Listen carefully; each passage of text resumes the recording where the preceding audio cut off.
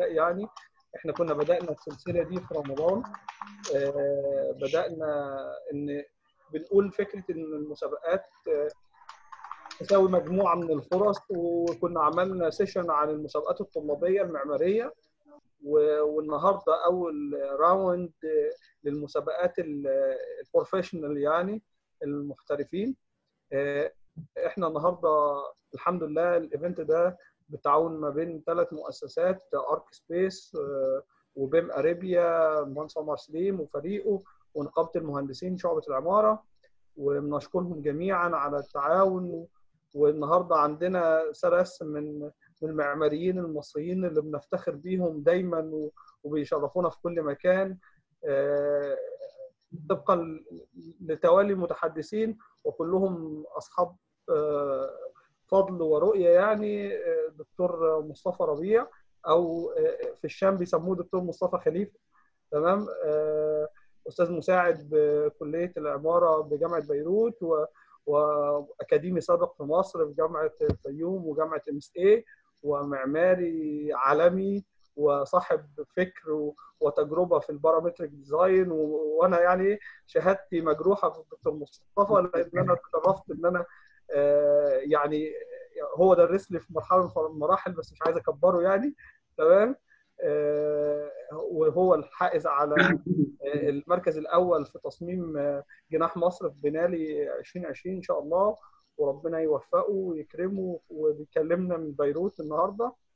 آه، معانا الدكتور عفاف بدران آه، مؤسسة مجموعة درب اللبانة ورائدة في العمل المعماري والتحفيز والمبادرات الاجتماعية وما شاء الله عليها أستاذة فاضلة ولها آه، يعني بصمتها في مصر وفي السعودية. تمام؟ ومعانا وهتكلمنا النهارده من إنجلترا. معانا المهندس المعماري المصري العالمي آه، إسلام مشتولي. آه، هقول بقى إيه الفائز بجوائز كتيرة يعني عالمية ومحلية. والمرشح لاكثر من جائزه حاليا وما شاء الله عليه نمسك الخشب يعني. وخير زميل ومهندس بيعبر عننا جميعا في العالم كله. آه، وهم برضو من الناس اللي هو المهندس معاذ أبو زيد اللي كانوا صمموا آه، جناح مصر سابقا في في بنالي فينيسيا برضو. والنهاردة ال concept بتاع الندوة إن إحنا هنعرض الثلاث تجارب بتاعه تجارب مسابقات لتصميم متاحف أو قاعات عرض أو آه، أجنحة أو يعني show rooms and so يعني ايا كان المسمى اللي هنسميه بالساينتفك يعني. وهنعرض التجربة والفكرة والرؤية بتاعت الثلاث معماريين الأفاضل آه، وده جزء من سلسلة زي ما قلت لحضراتكم إن شاء الله هتستمر وتكمل ونسأل الله التوفيق. وأنا بس هقول شوية تعليمات. إيه اللي هيحصل؟ البرنامج بتاعنا آه، المتحدثين هيتحدثوا بالت- بالتوالي دكتور مصطفى ربيع مع حفظ الألقاب طبعا دكتور عفاف بدران المهندس إسلام المشتولي تمام؟ ثم بعد كده هنفتح باب المناقشة تمام؟ آه، اللي اللي عايز يكتب السؤال يكتبه في ال chat ال private ليا أو للمهندس محمد زكي تمام؟ من فريق Arch Space اللي عايز يرفع ايده ويسأل ويوجه سؤاله للمتحدثين أو لأي حد آه، بيعمل raise hand وبنديله الكلمة بالترتيب. اللي عايز يسجل الأسئلة من بدري يعني بعد ما الدكتور مصطفى ربيع حد عايز يوجه له سؤال أرجو تتكتب في الشات وإحنا هنطرح الأسئلة بالترتيب علشان ضيق الوقت. وإن شاء الله كلنا نستفيد من الأساتذة وزملاء المعماريين الأفاضل. ويعني تنورونا ولو في أي حد عنده أي مشكلة يكتب لنا على الشات وفريق Arch Space أو BIM Arabia إن شاء الله هيرد عليه. والكلمة الآن مع الأستاذ الدكتور مصطفى ربيع. اتفضل يا دكتور مصطفى. السلام عليكم جميعا. يا رب تكونوا بخير إن شاء الله. أنا اولا قبل ما أبدأ بس المحاضرة بتاعت النهارده أحب أشكر الدكتور أحمد هارون على الدعوة. الحقيقة إن أنا يعني أتشرف آه، بوجودي معاكم إن شاء الله تكون آه، محاضرة مفيدة يعني بإذن الله. آه، هبدأ على طول عشان الوقت.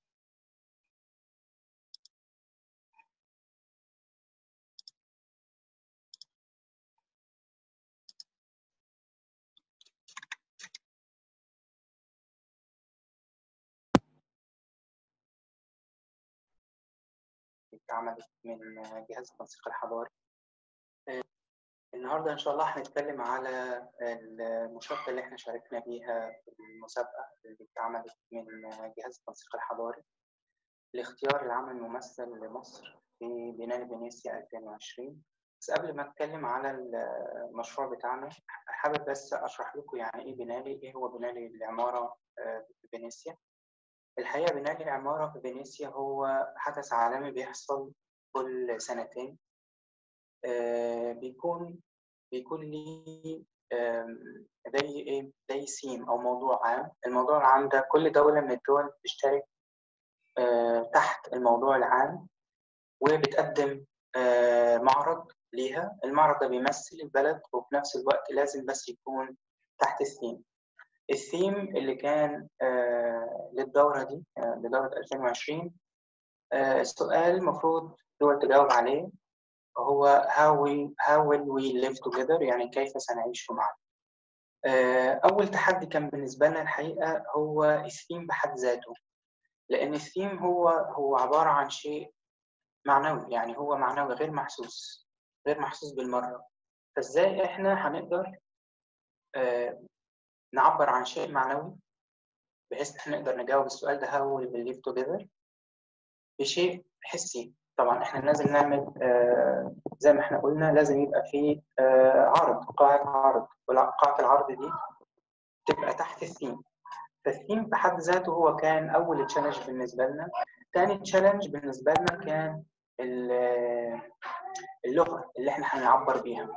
طبعا هو طالما حدث عالمي ودول كتير بتشارك فيه فالمفروض إن كل دولة بتقدم المعرض بتاعها أو الجناح بتاعها بلغة محلية يعني تكون نابعة من من الدولة بس بطريقة عالمية بصياغة عالمية تقدر تتفهم بسهولة من المجتمع العالمي. ده كان تاني challenge بالنسبة لنا. ثالث challenge بالنسبة لنا إن إحنا لازم نقدم فكرة حاجة اسمها originality of concept. لازم يكون الفكرة جديدة ما اتصاغتش قبل كده أو لو الفكرة قديمة بس تصاغ بصورة جديدة حلو دي اسمها ال originality. لو إحنا قدرنا آه نحقق الثلاث الثلاثه criteria دول إن إحنا نكون تحت الثيم وإن إحنا نعبر عن شيء محلي جدا عن شيء مصري جدا ولكن بصورة آه عالمية وإن إحنا الفكرة بتاعتنا تكون originality وتكون جديدة تمام؟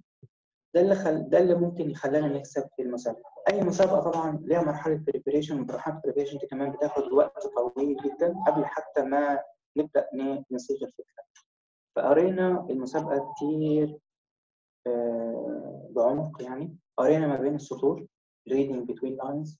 وبدأنا نطلع keywords. وبعدين درسنا كل الأعمال المشاركة قبل كده في السنين اللي فاتت. لازم ندرس الأعمال ولازم ندرس الأعمال الفايزة كمان وليه اختاروها؟ وطلعنا منها كمان جايد لاينز من خلالها قدرنا كمان نبدأ إحنا نطلع الفكرة بتاعتنا. بعدين كمان عشان نقدر نجاوب على السؤال الصعب ده how we will live together عملنا زي observation للوضع الحالي اللي فيه المجتمع المصري. وبدأنا نقعد أنا وال team طبعا عملنا brain storming عشان نقدر نبدأ بفكرة تمام؟ أحب بس أعرفكم بال team الأول. ال team إحنا أربعة. أربعة مهندسين معماريين. أول واحد معانا في في التيم رياض الحلبي مهندس رياض الحلبي. هو مهندس خريج جامعة بيروت العربية وكان من الطلبة المميزين جدا جدا جدا. الحقيقة كان هو هو طالب دخل مسابقات وكسب مسابقات وكمان بعد ما اتخرج دخل مسابقات وكسب مسابقات وإن شاء الله هنتنبأ له بمستقبل باهر يعني.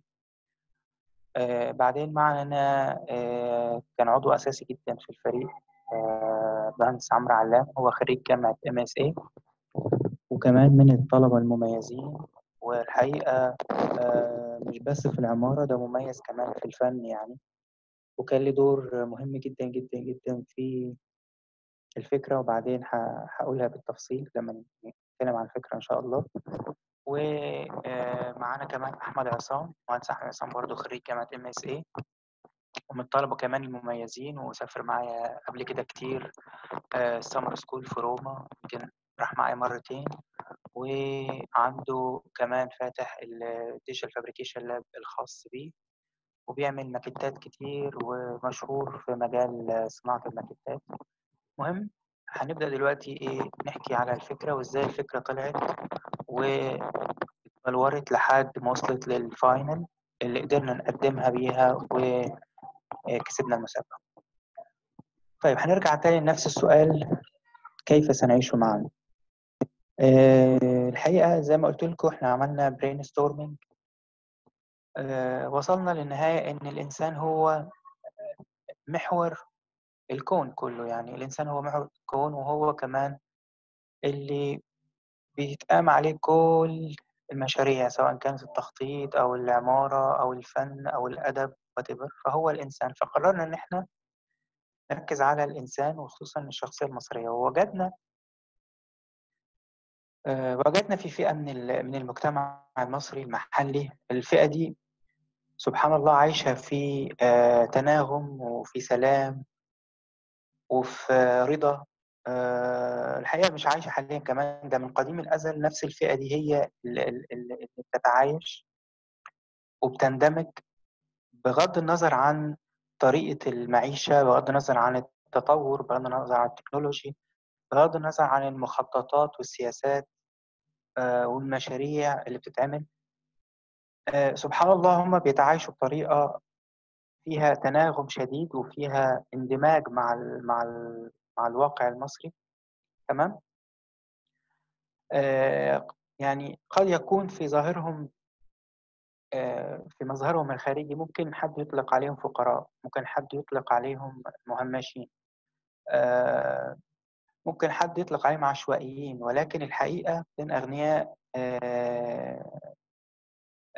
داخليا لأنهم بيحملوا في داخلهم معاني كتير جدا جدا محدش يقدر يحسها غير الإنسان المصري. مش كده بس هما كمان بي بيشتغلوا أشغال في المجتمع لا غنى عنها يعني في المجتمع إحنا ما نقدرش نستغنى عنها. تمام؟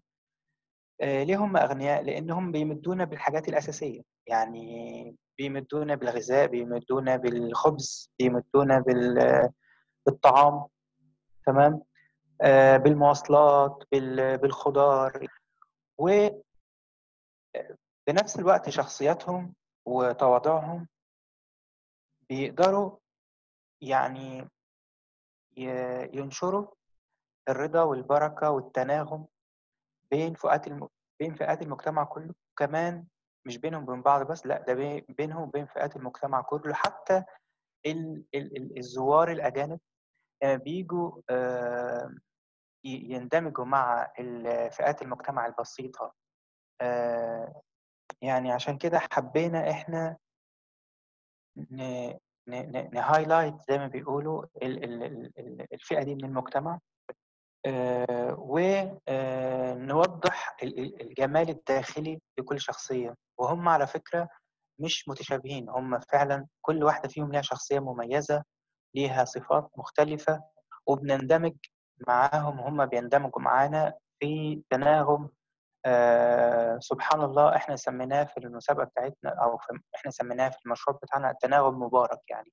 كأن في بركة كده في التعامل ما بين فئات المجتمع بينها وبين بعض. آه فزي ما قلنا كل واحدة منهم كل شخصية منهم يمكن يكون في ظاهرها آه متواضعة جدا ولكن هي في باطنها في داخلها يعني تحمل كتير معاني غنية من الألفة والمحبة والحكمة. ففيها صفات والتواضع والمرح فيها صفات كتير مختفية خلف الظاهر للشخصية دي أو للفئة دي من من المجتمع. وبعدين قلنا القوة بتاعت الفئة دي مش في الانديفيدواليتي بتاعتها مش في شخصية كل واحد فيهم لا ده في اندماجهم مع بعض واندماجهم مع بقية المجتمع واندماجهم مع المدن والقرى والشوارع المحلية اللي عندنا في في مصر. مش بس فئات المجتمع المصري ده كمان فئات المجتمع العالمي لما بيجوا يزوروا مصر وإزاي بي بيدوبوا يعني في النسيج المصري زي ما إحنا مع بعض. فطلعنا من uh, one in all ل all in one. المناطق الشعبية دي بيكون فيها حياة uh, غريبة جدا. إحنا سميناها الحياة المباركة أو العيش المبارك. تمام؟ بتكون فيها بركة كده يعني بالبساطة من عند ربنا. أكيد كلنا لعبنا في في الشوارع والحارات المصرية في العيد و... وأكيد كلنا لعبنا بالكرة الشراب. يعني جميل جدا لما كنا بنتشارك اللعب مع بعض وكنا بنتشارك النجاح كمان لما ندخل هدف وننبسط و... و... ونشجع. حلو؟ دي على فكرة مش في مصر بس ده في كل أغلب دول العالم يعني. إن إن إن الفئة دي بتقدر مع بعض together يعني تقدر ت إيه تعيش أو تخلق السعادة من خلال النجاح في حاجات بسيطة جدا زي ماتش الكورة اللي إحنا كنا نلعبه زمان في الحارة المصرية. تمام؟ إيه كمان بنعمله مع بعض؟ إزاي الفئة دي بتشير مع بعض activity المجتمع؟ إحنا كمان بن share مع بعض مش بس اللعب وإحنا صغيرين أو الأطفال وهي صغيرة في الحواري والشوارع ده إحنا بن share مع بعض كمان الأكل والسفرة في مواسم والغير مواسم يعني لما يكون لما يكون عندنا فرح مثلا لما يكون عندنا رمضان ومائدة الرحمن إزاي إحنا كلنا بنقعد على على ترابيزة واحدة؟ وإزاي بينزل الأكل كامل؟ وإزاي بنقعد في أعداد كبيرة جدا؟ فإحنا بن share مع بعض. مش بس اللعب زي ما قلنا. حلو. إحنا بن share كمان الطعام الأكل. إحنا كمان بن share الفرحة. يعني بنشارك مع بعض أو بيقدروا الفئة دي من المجتمع كمان بالذات تقدر بطريقة ما تخلق الفرحة وت share الفرحة بينها وبين الباقيين. كمان فإحنا كمان بيحصل ما بينهم sharing لل joy بيحصل ما بينهم حتى sharing لل faith يعني للإيمان. يعني إحنا في, في الأعياد مثلا فبتلاقينا كلنا اتحولت الساحات والمناطق المفتوحة اللي في في المدينة لمسجد كبير وكلنا بنصلي مع بعض صلاة العيد والأعداد الغفيرة اللي بتنزل. ف قوه الفئة دي في من المجتمع مش في الانديفيدواليتي بتاعتها لكن قوتهم إن كلهم إحنا محتاجين المجتمع كله محتاجها وإن هم فعلا متعايشين في تناغم وفي سلام وفي رضا وفي بركة غريبة جدا جدا جدا. بغض النظر إيه اللي بيحصل حواليهم من تطور بغض النظر من السياسات ومن المخططات ومن التكنولوجيا اللي بتحصل فهم بيتعايشوا وبيقدروا يندمجوا بسرعة جدا بأي طريقة من طرق العيش. فحسينا إن السر أو اللي هيقدر يجاوب على السؤال ده هو الفئة دي من المجتمع. فمن هنا بدأت معانا الفكرة إن إحنا إزاي ن highlight الشخصيات دي من المجتمع المحلي. تمام؟ فكأن إحنا عندنا خط الخط ده لو قلنا على اليمين عايزين نعبر عن ال randomness بتاعت كل شخصية من الشخصيات دي ال personality ال diversity لأن هم كتير ومتنوعين وكل واحد فيهم بيشتغل شغلانة مختلفة كل واحد فيهم بي act بيتفاعل مع المجتمع بطريقة مختلفة كل واحد فيهم محتاجينه احتياج مختلف ال diversity ال individuality حلو.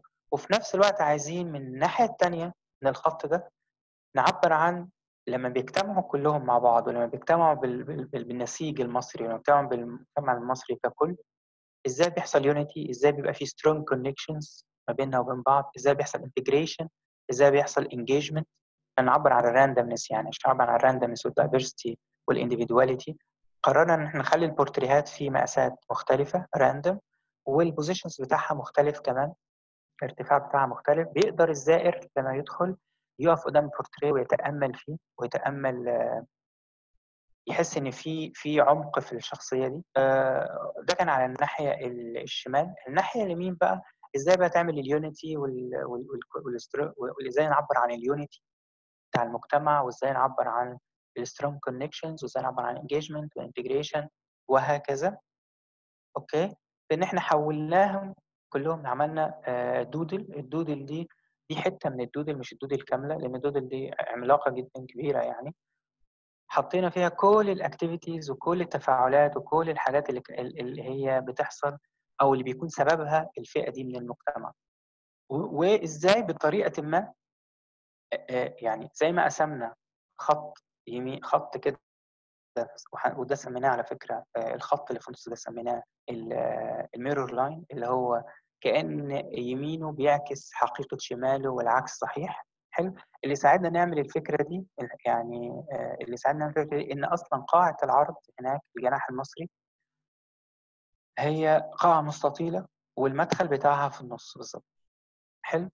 فإحنا خدنا المدخل وامتداد المدخل ده رحنا عملنا الخط الفاصل اللي قسم القاعة يمين وشمال. okay؟ وعملنا طريقة في ال في ال entrance إن إحنا نبدأ ال story line طبعا أي أي قاعة عرض لازم يبقى فيها story line بيبدأ من ناحية وينتهي آه، في ناحية أنت أنت بتعمل قصة و- والزائر بيجي عشان يشوف قصة تمام؟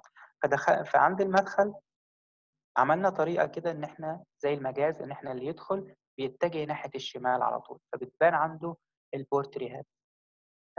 يعني زي ما قلنا إن إحنا حطينا الناحية الشمال البورتريهات حط كل بورتريه حواليه frame okay؟ وقصدنا نسيب frameات فاضية.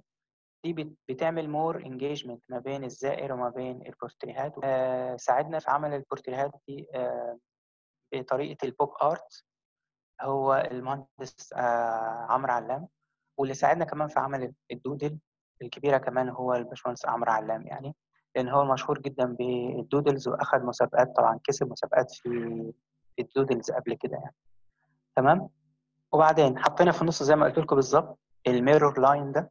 بس فتحنا gate حلو؟ ال gate دي وانت في البورتريهات لو وقفت عند ال item الأحمر دي okay؟ لو وقفت عند ال item الأحمر ده وبصيت كده هتلاقي إن اتحطت بعدين transformation gate إحنا سميناها transformation gates اللي هو بت- بتن- بتنقل الزائر مرحليا خطوة بعد خطوة من موضوع ال totally randomness وال totally individuality و diversity إن المجتمع واحدة واحدة بيبدأ الفئة دي بتدمج المجتمع مع بعض واحدة واحدة واحدة لحد ما بنوصل في النهاية لل doodle العملاقة اللي بتبقى في آخر ال- القاعة اللي فيها الاندماج التام وال totally engagement ما بين فئات المجتمع وبعضها آه، البعض. تمام؟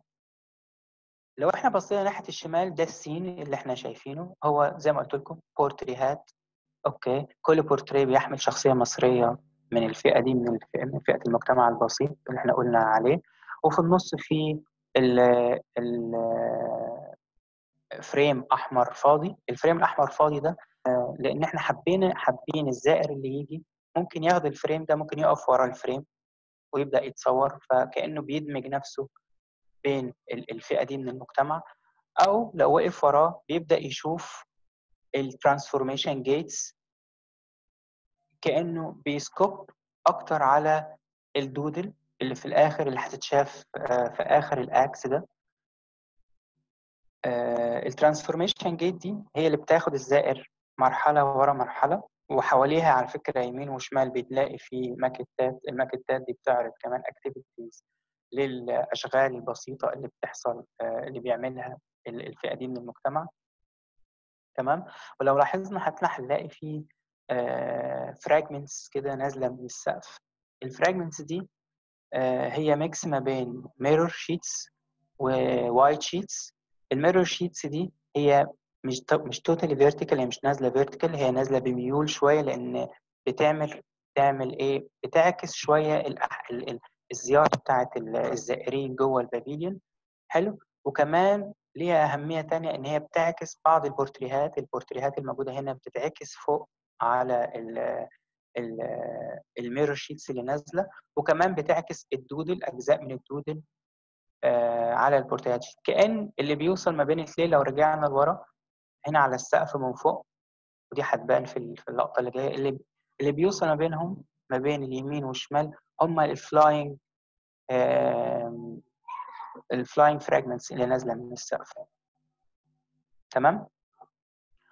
وده ال total scene الموجود ال gate ال red ال empty red frame اللي هو بياخد اتصال بصري من الجزء اليمين لحد الآخر خالص اللي هيقف هنا هيشوف كل ال gates scopic view لحد ما يوصل لل- لل doodle آه، okay.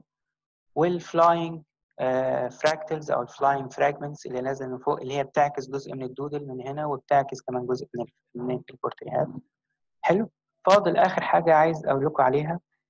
آه الرسالة يعني طبعا كل كل جناح عرض بيعطي رسالة. الرسالة اللي إحنا حابين حبينا آه نوجهها للمجتمع العالمي وللزوار العالميين والمخططين وصناع القرار إن إنهم يهتموا بهذه الفئة من المجتمع ويأخذوها بعين الاعتبار في مخططاتهم المستقبلية وسياساتهم ومشاريعهم المستقبلية للتنمية وهكذا لأن عندهم يكمن سر العيش في سلام وتناغم وسعادة تامة. والتأكيد الموضوع ده تأكيد الرسالة دي قررنا إحنا كمصممين ما ما ما, ما نشرحش الفكرة دي أو ما نقدمش الرسالة دي إحنا كمصممين. إحنا اخترنا شخصية من الشخصيات من هذه الفئة يعني. تمام؟ وهي بائعة الخبز وهي شخصية أساسية جدا ومتواضعة جدا وبسيطة جدا. ولكن واخترناها اللي هي تتكلم بعمق شديد وتبعث الرسالة للمجتمع. للمجتمع العالمي. أو بمعنى أصح للزائرين للجناح المصري واتكتبت في هيئة مونولوج. المونولوج ده آه تم كتابته بعناية جدا وبصيغة فنية آه بحيث يوصل الرسالة دي بصورة فنية يعني. بت بتقول للزائر إن هو ينظر ليها ومش ليها هي بس لكل الفئات البسيطة في المجتمع. ينظر لها بنظرة أعمق شوية ما يبصش للظاهر. okay؟ بتطلب من صناع القرار والسياسيين والمخططين والمعماريين والمصممين إن هم عشان آه لو حابين ينعموا بعيش آه في سلام وتناغم في المستقبل ياخدوا الفئة دي في الاعتبار داخل مخططاتهم ومشروعاتهم وما ما يبقوش مهمشين يعني. هسيبكم تسمعوا رسالة من بيعة الخبز في الفيديو اللي جاي ده اللي بيعرف بيشرح أكتر كمان فكرة الجناح المصري. بعد الفيديو هو الفيديو بالظبط ثلاث دقايق 14 ثانية بالظبط. بعد الفيديو أتمنى كده ما أكونش طولت عليكم وأسيبكم على الفيديو إن شاء الله.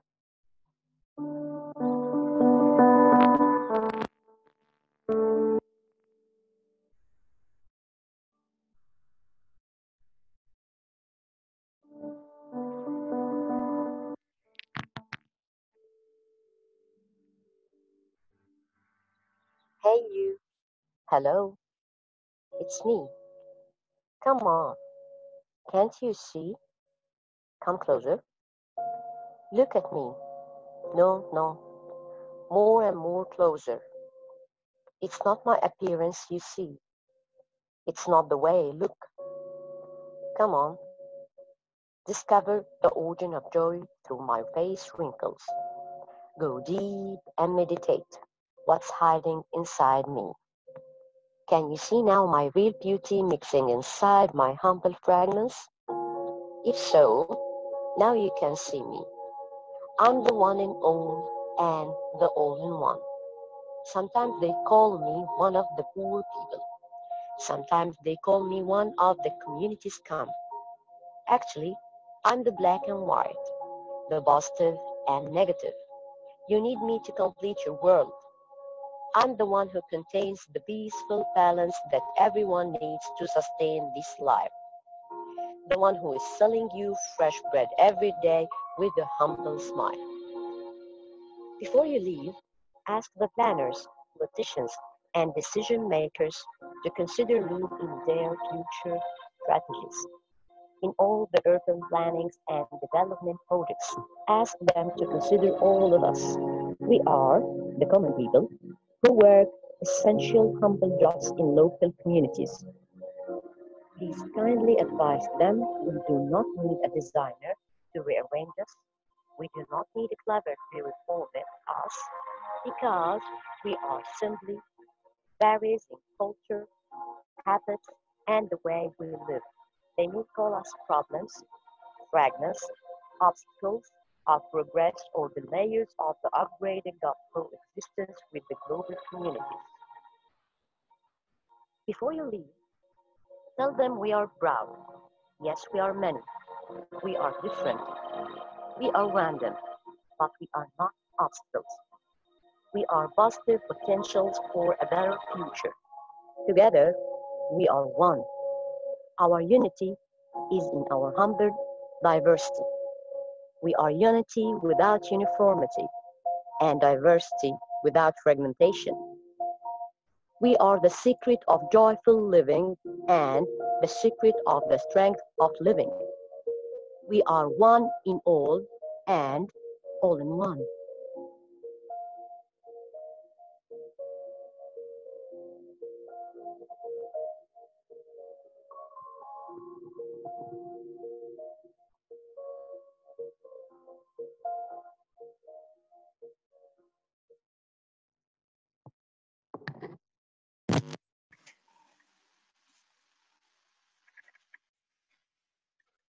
بشكركم يا جماعة وأتمنى تكون المحاضرة آه، مفيدة يعني. إن شاء الله أنا جاهز لأي سؤال آه، بعد ما نخلص كلنا إن شاء الله. شكرا لكم جميعا شكرا لكم. أشكرك دكتور مصطفى. آه، هو عشان اللي بعتوا لي أسئلة كتير علشان الصوت. يا جماعة هنحاول نظبط في الريكوردنج وهينزل الفيديو كامل. دكتور مصطفى ربيع مشكورا سمح لنا إن إحنا ننزل الفيديو كامل ال presentation بالفيديو كامل هننزله هينزله هو على صفحته وإحنا هننزله على صفحتنا. ويعني لو حد فاته حاجة في الفيديو بيقطع أو بي أو الصوت كان ضعيف في بعض الأوقات إن شاء الله هيبقى هنعدلها دي في ال recording نشكر أستاذنا دكتور مصطفى ربيع وننتقل لأستاذتنا الدكتورة عفاف بدران. آه، آه، آه، ننتقل وسهلا. من العي... عليكم السلام منوره يا دكتور. الحمد لله على السلامة. ننتقل من العيش المبارك إلى الأرض المباركة. يعني ربنا يجعل أيامكم كلها بركة يعني.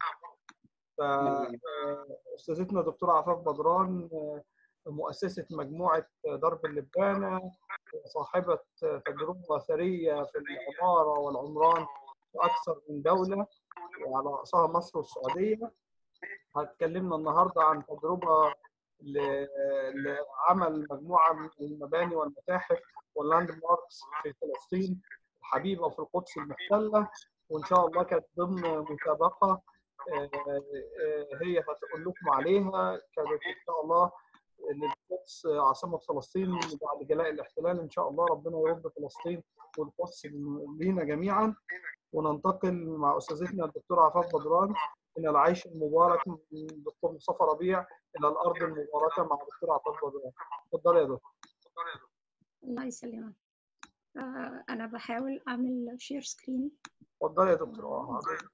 بس المايك ممكن يبقى أعلى شوية يا دكتور عفاف حاضر. المايك يبقى أعلى شوية. حاضر بحاول. كده كده كويس؟ يا ريت أقرب شوية. طيب. يعني هحاول أعلي صوتي على قد ما كويس أنا مش كده كويس. طيب حلو قوي هي أهم حاجة دلوقتي إن أنا أعمل ال share screen فممكن تسمح لي؟ اتفضلي يا فندم معاك. اتفضلي يا فندم. وطلع your entire screen. Window. Okay.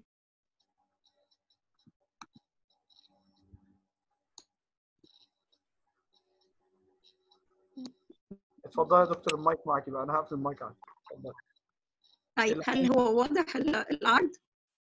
آه العرض واضح آه. بس حضرتك حاولي أوكي. تعلي الصوت شوية عشان الصوت بيقطع. حاضر حاضر حاضر. أوكي. آه ال- العرض اللي أنا بعرضه ده هي مسابقة آه القدس عاصمه بعد جلاء الاحتلال وكان آه اخترعها آه المهندس حمدي و- وأطلقتها هيئة المعماريين العرب. آه، ال- اللي أنا هقدمه هو cultural features and landmarks for a liberated Jerusalem. واشترك معايا تيم بصراحة يعني رائع الأستاذة رشا جابر ومحمد الهواري ومحمد زكي وآية المليجي وزينب طحون وعلي أسامة علام كأرتست رسمت رسومات كتير عن عن القضية الفلسطينية وأسامة معروف وداليا وليد كفيلم اديتنج ولارا واكد ودارين رفعت وأحمد عمارة. آه، آه، يعني أحمد عمارة كان للأسف آه، راح الجيش بس بس هو من الناس اللي بدأوا معانا المسابقة. آه، دي الخريطة اللي إحنا اشتغلنا عليها وأنا جايبة خريطتين. خريطة الأول اللي هي آه، ال- الدولية اللي بس هم ما يختلفوش كتير غير في أسماء الشوارع وعشان كده أنا ما حبيتش دي. بس أنا بوري بس المسار اللي إحنا خدناه وهنا بتشوفوا اللي هي الخريطة اللي باللغة العربية وأسماء الشوارع كلها باللغة العربية المسار اللي إحنا اخترناه علشان نحط عليه عدد المتاحف أو landmarks هو بيبدأ من عند بوابة يافا يشير ال- المجمع الحكومي اللي في القدس اللي هو حاليا الإسرائيلي اللي, بي اللي فيه الكنيسة إلى آخره. آم، مش عموما آم، إن شاء الله أعرف. وبرضه بلغوني شايفين ولا لأ وبيتحرك معاك ولا لأ. الصور شغالة يا دكتور بس الصوت هو اللي بيقطع شوية. آه لأ هو ما فيش صوت في في الفيلم ده. هو الفيلم ده صوت المقصود حضرتك. كان منه. صوت حضرتك اللي بيقطع. مم. أوكي.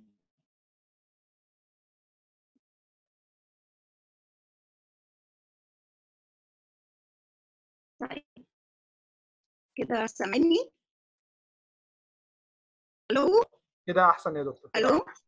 كده أحسن. طيب أنا بحاول أقرب من ال من اللابتوب بقدر الإمكان.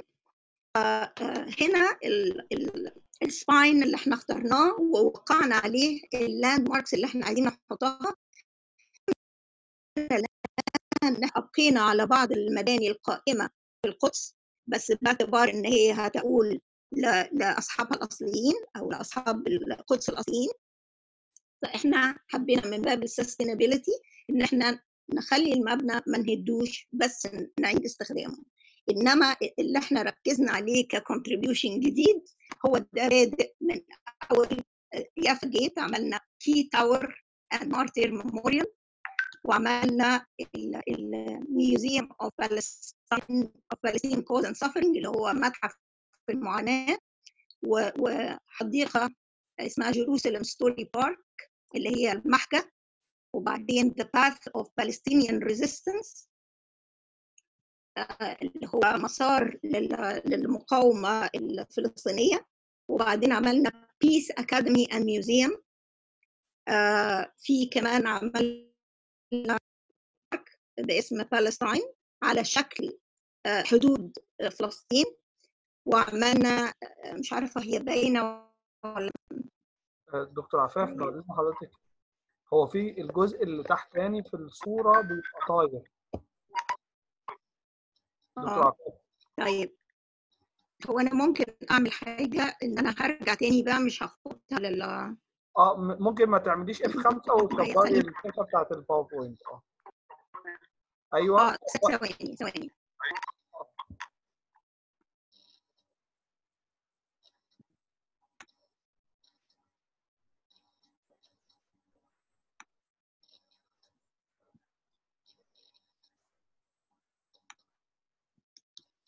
عارفة كده كفاية ولا؟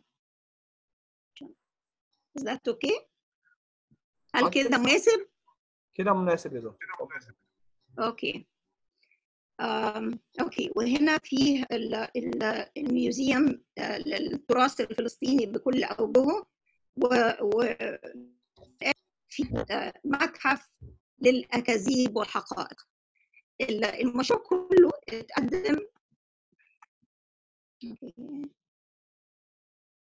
ف ف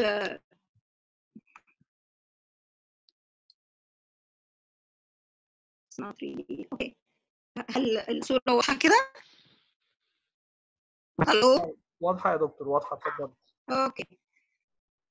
آه، ده ده المشروع اللي اتقدم. إحنا مش هن مش هنتناوله كله إحنا هنتناول عدد من المتاحف اللي إحنا شعرنا إنها مهم عرضها في في ال workshop الحالية.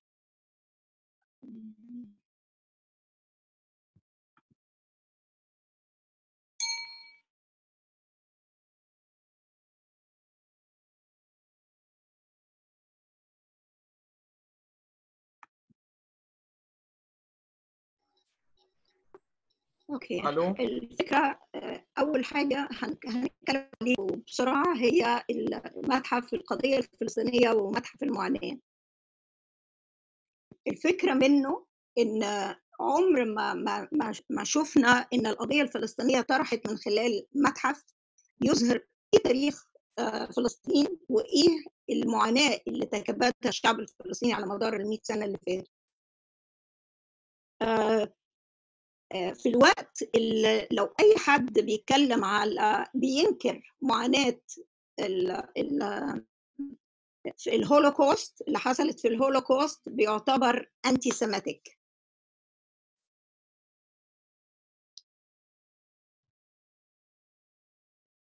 معلش أنا عايزة أرجع تاني آه، آه، لل- للعرض بالطريقة ال- العادية عشان سهولة ال- النقل من إن شاء الله يبقى ما فيش مشكلة.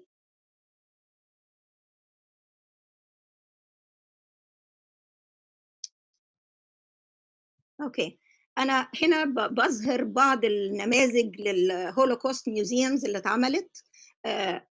طبعا هو فيه أكتر من سبع هو هو مش 70 هو actually 70 متحف إنما في حاجة اسمها memorials فال memorials دي بتتحط في كل مكان.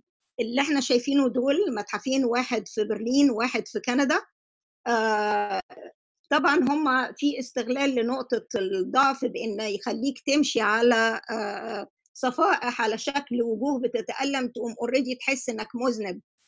آه، ده برضو هنا دي memorials memorials دي ممكن تبقى sculpture بس محطوط في أي حديقة وتلاقي منها مثلا سبعة ثمانية في كل مدينة في الدنيا. علشان دايما يبقى في تذكرة بالهولوكوست. آه، هرجع بقى للقضية الفلسطينية وهقول إن إن لأن ما فيش متحف اتعمل لمعاناة الشعب الفلسطيني آه، آه، أنا ركزت في في الجزئية دي على ح- حادثة كلنا قرنا بيها وهي آه، مقتل محمد الدرة في سبتمبر 2000 آه، تحت وطأة الرصاص اللي كان آه، بيركز وبينطلق من عدة جهات لغاية ما أصيب هم أصيبوا الاثنين الأب والابن بس للأسف هو الابن توفى آه، رغم محاولة إنقاذ الوالد وكلنا عارفين. فدي كانت السكتش اللي طلع من ال... وده كان التصور إن يتعمل نفس ال position بتاع الأب اللي بيحاول يحتضن ابنه ووراه الحائط. وبيحتمي في هذا البرميل اللي إحنا خلينا كل الأجزاء دي البوديوم والبرميل وال- والحائط يكملوا المتحف اللي إحنا بنتكلم عليه. لو تلاحظوا إن الفتحات العشوائية هنا بتمثل ضربات الرصاص اللي كان بتطلق عليهم. والبرميل اللي هم بيحتموا فيه برضو في كسر من هنا زي deconstruction عشان يبين إن حتى البرميل اللي بيحتموا فيه فهو ما هوش حامي كافي بشكل كافي. آه دي لقطة تانية. آه عند مدخل عند مدخل ال- المتحف حاولنا إن إحنا نخلي الناس اللي داخلة تبقى حاسة قد إيه كل يوم في حياة الفلسطيني كان بيتعرض لل- للخطر ولل ولل threat وال stress نتيجة إن دايما في snipers ممكن إنهم يقتلوه. فحطينا التماثيل الستة آه، آه، جنود اللي أنتوا شايفينهم دي تماثيل مش حقيقي بس عشان يدوا إحساس اللي داخل ال- المكان يعرفوه بال- بال stress اللي بيخوضه الفلسطيني. آه، ده شكل المتحف من فوق. ده بسرعة كده برضو كان من ال sketches اللي بتبين الحركة إزاي إن في صالة كبيرة اللي هي فيها كل المعاناة من سنة 2000 لغاية حاليا وبعدين متقسم history of Palestine وبعدين حقب مرورا بالنكسة 67 وبالانتصار بتاع 73 وما قبله من حرب استنزاف إلى آخره آه، في ال... عند الخروج من. من المتحف في برضو دباب يعني مجسمات لدبابات بتقابل اللي خارج برضو عشان تذكروا بالثreat الازلي اللي بيتعرض ليه الفلسطينيين. طبعا ال... ال... البوديوم مش بس هو اللي متصمم حتى السلندر أو البرميل اللي إحنا شايفينه ده دي كتلة كلها عرض داخلي فيها صالات virtual reality وفيها وفيها اكمالا لحاجات عايزة spotlight الحائط الخلفي ده اتعمل مكتبة ومدارس للصغيرين وللكبار عشان يتعلموا تاريخهم ولغتهم وتراثهم. طبعا لما بنقول كبار أنا ما بقولش جامعة بس في ناس كتير قوي فقدت فرص التعليم بسبب بسبب الأحوال الغير مستقرة فكان ضروري توجد لهم مكان يعلمهم.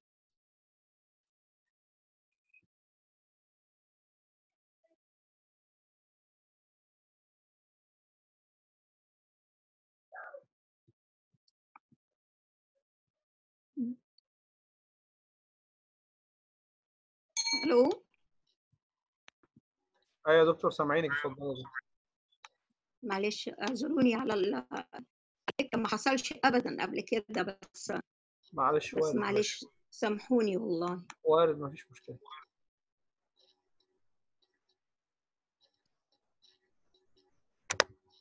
حضرتك هتعملي share screen تاني؟ آه بس شفت سكريني بس اول ما أجيب السلايد من حيث على إذا سمحت لي. هو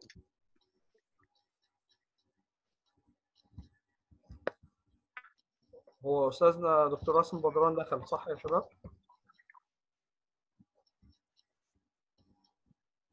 المفروض هو موجود معنا. يا دكتور هو المفروض إنه موجود. دكتور راسم حضرتك منورنا يا فندم. أهلا أهلا.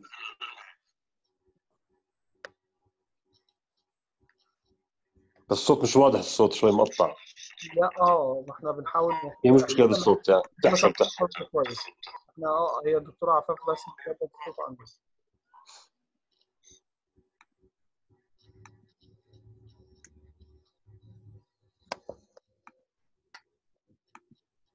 أوكي اتفضلي يا دكتور.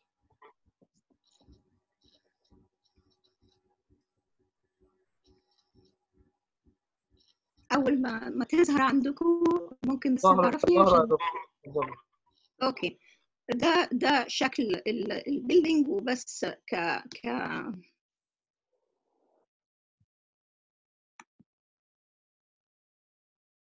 طبعا الخلفية للجزء ده آه، كلها LED screen علشان تظهر ال ال تبقى كشاشة عرض لأن في في ال- ال courtyard الأوسط في ال- في ال museum ده مكان للناس إنها تقدر تتفرج على ده غير إن ال terrace نفسه ممكن يستغل ده بالنسبة لمتحف معاناة الشعب الفلسطيني. آه، طبعا بيبقى فيه إسقاط ضوئي آه، على أساس إنه يبقى آه، يعني بيجذب انتباه من من على مسافة. آه، ده هنا بدخل مدخل تاني لل path of resistance علشان أعمل مسار للمقاومة الفلسطينية.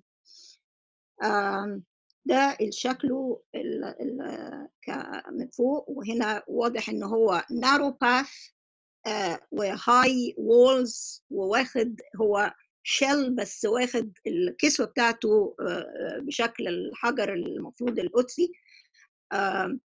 وده طبعا هيعرض المعاناة sorry ال- المقاومة بكل أشكالها آه، سواء كانت من خلال الأطفال أو من الكبار آه، رجال أو أو أو نساء. هنا في آه، حائط آه، هنا في المحكى اللي هو حديقة مفتوحة open لكل الناس من غير أسوار no barriers بس بت واضح ال stones اللي هي أصلا كانت آه، آه، من أسباب أو من من الوسائل ال popular للمقاومة. والمفروض إن الحديقة دي فيها features مختلفة من ضمن ال features اللي إحنا مقترحينها في هذه ال park آه، لقطة ال stone walls أو brick walls معمولة زي الليجو آه، فيها زي لو تلاحظوا في ست آه، آه، حوائط واقعين بس في حائط كبير صد بس ما صدش لوحده صد لإن في ستة واقفين وراه صدوا في الاتجاه المعاكس. وأنا كنت بحاول أرمز وده اتكتب في ال report لإن لو في قوة بتدفع من اتجاه لو لو في الاتجاه الآخر كان في support للشعب الفلسطيني كافي هيفضل يقاوم وي- وي- وياخد حق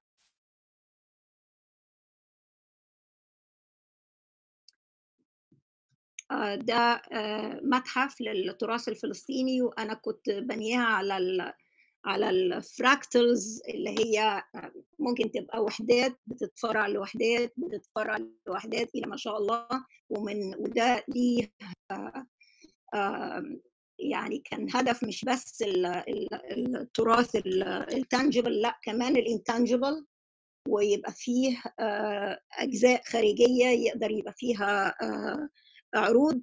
بس يفضل يمتد بكل أوجه التراث الفلسطيني ال- ال- التراث ال- ال- البلد مش بس هي اللي منهوبة لا ده حتى تراثها بي- بينهب. فده مهم جدا إن التراث ده ليه آه، يعني تول في ال في ال tools اللي المفروض تستخدم. آه، آخر متحف في في المشروع بتاعنا كان آه، متحف ال fact manipulation and truth. المتحف أنا اللقطة دي بس عرض للحاجات اللي ممكن كانت تبقى موجودة في في المتحف ده من أول وعد بلفور اللي بيوعد إن إن أنتوا هتبقوا هتكونوا موجودين هناك بس هتحافظوا على حقوق الشعب ال- الفلسطيني. وهو أصلا بيعد بما لا يملك. آه، وحتى لم يلتزم بأي عهد وعمره ما حمى أي حق لفلسطيني فسما كان سما علام آه، من ضمن المشاركين معانا كانت عملت آه، تصور جميل قوي لإنه في زي بيتقال كأن هيلبسوه اتنين أو هيتدفوا بيه اتنين وبعدين في الآخر آه، شخص بيستولى عليه لدرجة إنه حتى مستعد يمزعه عشان ياخده لوحده. برضو من ضمن الحاجات اللي معروضة في متحف ال- ال- الأكاذيب اللي هو بيعرض ال- الحقيقة من الجهة الأخرى زي ما إحنا شايفين ال- ال- الحدث بتاع محمد الدرة في الوقت اللي إحنا شايفين قدامنا الصور ناطقة. في الناحية التانية بيقولوا إن لأ ده هم ما شافوش الشخص ده وهم ما ما ماتش أصلا ده كانوا بيمثلوا وأول ما بيخلصوا تمثيل بيرجعوا تاني إلى إلى آخره من الأكاذيب. فإحنا كنا بنحاول في في عمل المتحف ده إن إحنا نظهر كل ده. والديزاين بتاع المتحف ده أنا هقوله باختصار عشان إحنا خلاص خلصنا. هو عبارة عن أدوار آه، ست أدوار متراكبة بس ولا واحد فيهم راكب بالظبط فوق التاني. اللي هو إحنا حسينا إن لأ زي بالظبط ال- الأكاذيب ما بتركبش على بعض فيبقى آه، ال- الأدوار برضو لا بتتناغم لا شكلا ولا خامه ولا موضوعا ولا أي شيء. التكستشر مختلف طريقة الاستراكشر بتاعتها مختلفة. حتى في بعض الأعمدة تلاقيها نازلة من من الأطراف ال- اللي هي زي projecting outwards ومش واصلة حتى لغاية الأرض يعني baseless. فده كان ال- الديزاين بتاعه كان بيهدف لتوضيح ده. وطبعا اشترك فيه آه، رشا بجهد آه، رشا جابر. بشكل جميل جدا هي وزينب طاحون. آه، الفكرة طبعا بتنبع من النقاشات والأبحاث اللي إحنا اتكلمنا عليها قبل كده إن دايما أي مشروع بيبقى فيه أبحاث طويلة جدا قبل ما بنحط خط فيه. آخر حاجة هي آه، متحف السلام وده كانت فكرته بسيطة جدا احتمال يكون اللوجو بتاع المسابقة أصلا اوحلنا بيها وهي إن إحنا آه، اخذنا شجرة الزيتون واخذنا الحمام وفرغناها في الحائط بتاع معهد السلام وإحنا لما بنقول معهد للسلام أو أكاديمية للسلام ومتحف ليه بنقول ده علشان إن الدولة دي لا أو ال- القدس اللي هي عاصمة فلسطين مش هتبقى بتكرس للحرب إنما هتبقى بتكرس للسلام. آه، دي حديقة اللي أنا اتكلمت عليها في الأول وده كان أنا أعتقد جهد مشترك بين زينب طاحون والأستاذة رشا. جابر إنها إزاي الحديقة المركزية تتعمل على شكل آه، آه، فلسطين على إن فلسطين دايما هتفضل آه، كاملة عمرها ما هتتجزأ. شكرا. ألف شكر. ألو؟ نشكرك يا دكتور وإن شاء الله فلسطين تفضل كاملة غصب عن عين غصب عن عينهم. خلينا خلينا في الفعل وليس ضد الفعل يعني. إحنا انتقلنا من نشكر الاستاذ الدكتور عفاف بدران ونرحب بأستاذنا المعماري الأردني الفلسطيني العالمي أستاذنا الدكتور راسم بدران نورنا ومشرفنا وهنتيح لكل الحضور يتفاعلوا مع حضرتك بعد آخر برزنتيشن للزميل العزيز والمعماري المصري الرائع. المهندس إسلام المشتودي هننتقل من الأرض المباركة إلى عاصمة الرشيد وتجربة جديدة آه، ومختلفة. مهندس إسلام معانا؟ أيوه. آه، المهندس آه، إسلام بيكلمنا النهارده عن تجربته في تصميم في بغداد ومسابقة ثالثة من ضمن المسابقات اللي إحنا بنعرضها النهارده. اتفضل يا باشمهندس. بسم الله الرحمن الرحيم. اولا بحب نشكر طبعا الدكتور راسم بدران على حضوره. يعني هو أنا دايما بنوصف راسم بدران في كلمتين يعني المعلم والمعلم في نفس الوقت يعني يعني بضم الميم وكسرها يعني. آه، وشكرا جزيلا على الإتاحة. وبحب أبارك للدكتور مصطفى على الفوز ببناء العمارة السنة دي. وان شاء الله التوفيق بإذن الله وإن شاء الله الظروف تسمح كده ويتم العمل بإذن الله. آه،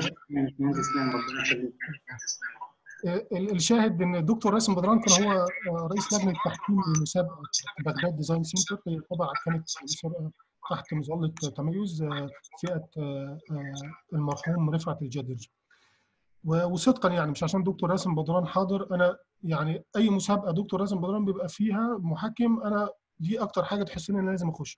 يعني إيه اللي بيخليك تخش مسابقة؟ إن أنت الموضوع يعني يهمك وثانيا لجنة التحكيم تحس إن أنت أكيد هتتعلم لما تشارك سواء فزت أو خسرت فهي الفكرة مش في المكسب والخسارة.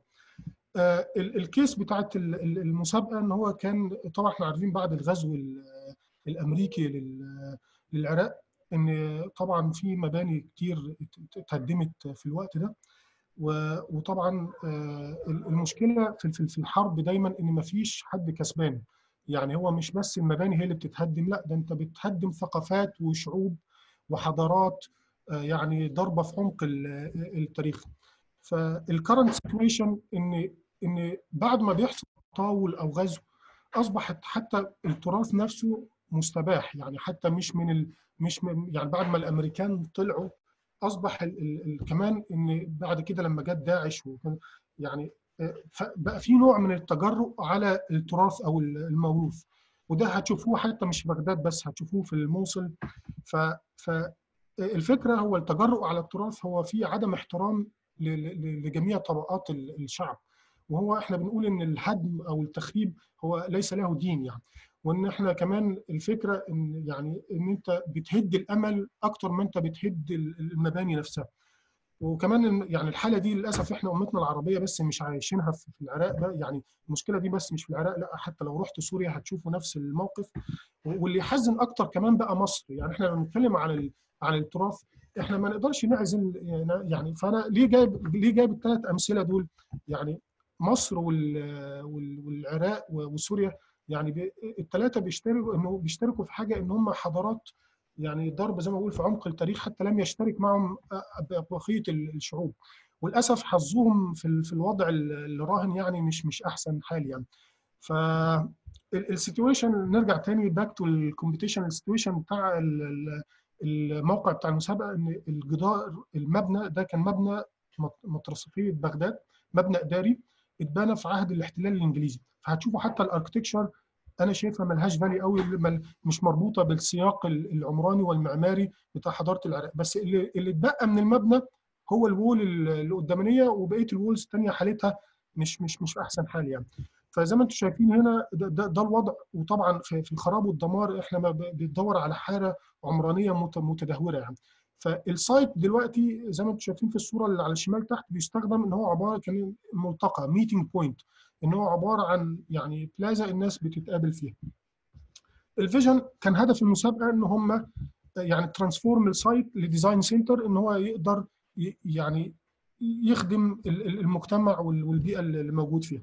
فطبعا إحنا عشان بنصمم مشروع لازم قبل ما يعني تفكر في نتيجة أو result وده اللي اتعلمناه من أساتذتنا يعني إن أنت we have to search deep إن هو تروح في ال historical background لأنه ال contextual architects دايما ما بيهموش وضع ال plot أو الوضع الحالي الموجودة فيها ال plot limit بتاع الموقع لأ هو المفروض بيبحث في طبقات ال- ال- ال- ال- المجتمع والتاريخ والثقافة والاقتصاد والعمران وكله لأن ده كله ده بيأثر في في في, في ما ننتجه يعني من من عمران. فبالرجوع لحضاره العراق هنلاقيها إن هي very complex layer of civilization إن هي يعني يعني إحنا يا جماعة ما ينفعش أمريكا تيجي تقول تعلمنا الديمقراطية. يعني العراق اتكتب فيها أول دستور في في تاريخ الإنسانية. أول كود اللي هو كود أول دستور في تاريخ الإنسانية. مش بس في تاريخ العرب ولا في تاريخ العالم اتكتب في العراق. فإحنا دي هتشوفوها اللي هو ال complex يعني بنسميها complex layer of civilization هي حضارة مركبة ومعقدة وصعب فهمها من ال layer اللي بره إحنا كناس من بره يعني. ف فمدينه بغداد ال- التخطيط المبدئي بتاعها كانت هي المدينة الدائريه بتاعت بغداد بس هنشوف دايما علاقتها بالنهر. يعني هي علاقة المدينة بالنهر كان مكون مهم جدا. حتى لما بعد كده لما ال- المدينة يعني الصورة الذهنية بتاعت المدينة الدائرية دي تلاشت برضو أصبح إن النهر دجله هو المكون الرئيسي زي أي مدينة نهرية إن دايما شريان الحياة هو اللي بيحصل عليها. وبعد كده العمران بيبتدي ينتشر يمين وشمال. كانت في الوقت في العصور ال- الإسلامية كانت بيسموا بغداد land of scholar أرض العلماء. كان بيجي لها الناس من كل مكان. ف فإزاي نفهم الكلام ده وإحنا بنعمل المشروع ده برضه حاجة مهمة. ففهمنا لل context بقى. ال context understanding دي الموقع بتاعنا موجود. ليه علاقة بالنهر إن هو قريب مش بعيد على شارع الرشيد وشارع المتنبي. فده ال neighborhood ال study بتاعت ال neighborhood. فإحنا عندنا هنا شارع المتنبي اللي هو عمودي على نهر دجلة وعندنا هنا شارع الرشيد. آه، وزي ما شايفين هنا الموقع بتاعنا موجود على على اليمين. فهنا لو شفنا ال context اللي حوالين الموقع بتاعنا دي culture streets فأنا دايما الواحد إحنا عشنا عشنا المعنى ده من وإحنا صغيرين. إحنا كانوا بيقولوا إنه يعني القاهرة تكتب وبيروت تطبع وبغداد تقرأ. فإحنا زي ما أنتم شايفين هنا الصورة هتشوفوا هنا دي الصور دي حاليا بعد صلاة الجمعة الشوارع موجودة والكتب والثقافة فال culture streets دي دي حاجة موجودة في ال DNA بتاع الشعب العراقي في بغداد خاصة يعني. فكان ال mission بتاع المسابقة إن هو new architecture approach إن هو يساعد بغداد إن هي ت celebrate تحتفل ال heritage يعني جميع طبقات ال heritage وال history ال- المدينة. ده كان ال mission المكتوب في ال brief بتاع المسابقة. فإحنا كنا ال typical response بتاعنا إن هو our response يعني إن إحنا إن إحنا beyond now اللي هو ما, ما وراء ال- الواقع اللي موجود دلوقتي. إن إحنا الوجود الأبدي للغياب اللي هو الحاجة اللي فقدت إن إحنا إزاي نستلهم من الذاكرة الوصفية لل- لل- للمدينة اللي سميناها descriptive memory إن إزاي نستخدم من من الذاكرة الوصفية دي حاجة تلهم الحاضر اللي هو أنا شايفه حاضر تعيس بس مش معنى كده إن إحنا نفقد ال- الأمل. فكان الخطوات ال- ال- ال- البسيطة اللي ابتدينا بيها بالمشروع زي ما أنتم شايفين هنا ال site context دي حدود الأرض. أول حاجة عملناها إن إحنا نحترم المكون بتاع الأرض اللي هو ال wall الموجودة دلوقتي. فخدنا منها setback وبعد كده ابتدينا نشكل البلازا اللي هي ال meeting point الكبيرة اللي موجودة هنا. وبعد كده ابتدينا نعمل ال meeting نعمل لها يعني نعمل خليها more intimate spaces فهي تبقى تبقى عبارة عن two courtyards وما بينهم ما بينهم linkage يعني connection وبعد كده ابتدينا نفتح المشروع من من من من من الخلف ومن قدام ونعمل ال connection دي بحيث المشروع يبقى meeting point ما نفقدش فكرة إن المشروع هو كان الملتقى. يعني ما نقدرش نبني مبنى موجود يهدم فكرة إن دي ساحة والناس بتتجمع فيها. وتاني حاجة إن إحنا كان من day 1 التوجه بتاعنا إن إحنا المشروع ما يبقاش عبارة عن object دخيل على ال context فقدرنا نعمل المشروع يبقى عبارة عن intimate يعني fabric جوه الأرض. طب إيه إيه الفكرة من كده؟ ليه حاولنا نكسره كده ونعمله microclimatic لأن إحنا بنؤمن إن يعني اولا لازم يتماشى مع ال fabric اللي موجود فيبقى في نوع من التراحم والقبول وال acceptance في قلب ال context ثانيا إن المبنى مهما كان صغير إنه يقدر نعمله phasing يقدر يتقسم على مراحل. طب وخصوصا كمان إن الناس هي اللي ممكن تبني المبنى ده والصورة الذهنية بتاعت المبنى هتبتدي تكبر مع وعي الناس اللي في المنطقة يحسوا إن هم اللي بانيين المبنى فالمبنى أصبح بي grow مع مع الوقت.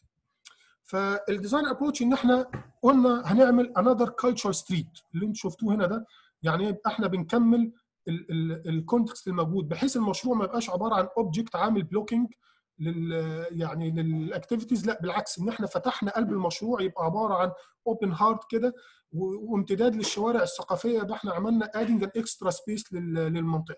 وسميناه culture canyon وطبعا يعني الفكرة من من من فكرة ال canyon دي إن إحنا نعمل curating ال user experience إن إحنا داخل الفراغ نفسه الصورة الذهنية للمتلقي واللي بيمشي جوه المشروع بيمشي في رحلة أنا سميتها رحلة الالم والامل في نفس الوقت.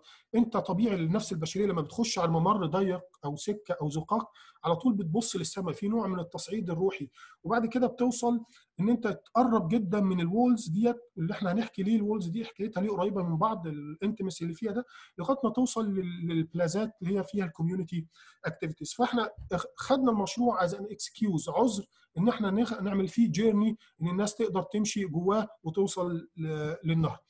فمن ضمن الحاجات اللي كانت تهمنا قوي في الشغل هو اللي اسمها time space reading to be clear إن إحنا لما طبعا بتبني في على أرض مثلا أرض مبنى تاريخي أو مبنى قديم لازم تفرق بين العصور. إيه ال addition الجديده اللي اتعملت وإيه الأصل المبنى بحيث لا يختلطوا مع بعض. يعني بعد 20 30 أو 100 سنة الناس ما ما ما, تعملش mix ما بين إيه اللي كان قديم وإيه الجديد. فلازم تكون ال reading دي clear فعشان كده زي ما أنتم شايفين هنا أول حاجة يعني عملنا كذا استراتيجي في الشغل. يعني اعتبرنا ال wall الموجودة دي كأنها wireframe والمشروع بتاعنا إزاي هيبان من جوه فاستخدمنا ثلاثة استراتيجي استخدمناهم في قلب المشروع أول حاجة إن إحنا لما خدنا ال setback فإحنا عملنا زي infill material اللي هو ال glass فتقدر تشوف ال wall القديمة وتقدر تشوف المبنى الجديد وما بينهم material very transparent فتقدر تشوف فرق الزمن. يبقى دي أول حاجة إن إحنا خدنا setback تاني حاجة إن إحنا خدنا يعني bigger plaza إن إحنا بحيث تقدر تشوف ال wall وتدركها سواء من من ورا أو من قدام. ده برضو تاني تعامل عملناه وتالت تعامل إن إحنا عملنا touching اللي هو في ال corner بتاع المبنى عملنا زي view deck كده بحيث تقدر تطلع وتشوف النهر من فوق. فكأن دي يعني أنت طالع فوق المبنى القديم ساند عليه. وكأن المبنى الجديد يعني بيبزغ من أو بيولد من رحم المبنى القديم اللي كان موجود في علاقة فيه نوع من التماس والهارموني بس الأهم هي الاحترام respect فحتى هتلاقوا ال design language هنا very simple عشان ندي more من ال appreciation للمكون القديم اللي كان موجود. فهنا استطعنا الحمد لله إن إحنا نخلق زي يعني المشروع يبقى عبارة عن قرية صغيرة جدا جوه جوه جوه الأرض. وفيها نوع من التراحم فيها نوع من احترام ال skyline والبس اللي قدرنا نطلع فوق اللي هو ال watching tower أو ال lighthouse الموجود ده بحيث تبقى فرصة opportunity الناس تطلع فوقيه وتشوف النهر إطلالة على يعني على نهر دجله فدي كان ال sketchات المبدئية إن إحنا إزاي ال journey of pain and hope إزاي نقدر نخلق ال culture canyon اللي إحنا سميناه كده ال culture canyon يعني الممر أو الوادي الثقافي وفكرة ال canyon اللي هي فيها نوع من الحميمية وفي نفس الوقت فيها نوع برضو يعني إن أنت الناس تقدر تقرب من ال wall اللي عملناها دي زي مثلا زي البترا وكده وأنت ماشي في السكه فيها نوع من ال من الإلهام الذهني يعني. وطبعا استخدمنا ال roofs إن هي دايما ال roof كان في العمارة العربية القديمة the fifth facade كان بيستخدم الناس تطلع فوقيه بتنام فوقيه بتستخدمه فوق فإحنا ال roof أصبح عبارة عن extra space added للمشروع. ف هنا من ضمن الحاجات برضو اللي كنا مركزين عليها ال sculpting the void اللي هو نحت الفراغ. إن الفراغ الموجود ده أنا دايما بؤمن إن ال voids اللي في أي مشروع هي لا تقل أهمية عن ال solid لأن هما الاثنين بيلعبوا ال positive وال negative دول بيلعبوا مع بعض فكرة إن هو إيه ال activities اللي ممكن تحصل وتحيي المشروع وتديله حياة و value أكتر من البرنامج أصلا اللي مطروح يعني.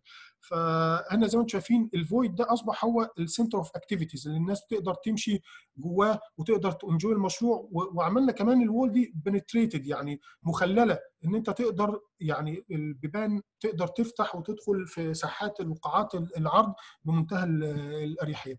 طيب إيه اللي اتعلمناه من من من learning from the past إن إحنا ودي الكلام ده اللي أنا اتعلمته من أستاذي يعني راسم بدران إن ال- ال- الشوارع في العمارة العربية القديمة هي دي كانت ال urban living room هي دي كانت المجلس أو ال أو ال أو ال أو ال اللي بتحصل فيها ال activities كلها فإحنا by adding ال culture street اللي إحنا عملناه ده بنرجع للمدينة تاني. أحد مكوناتها اللي هي بتفقد في مدننا العربية الحديثة.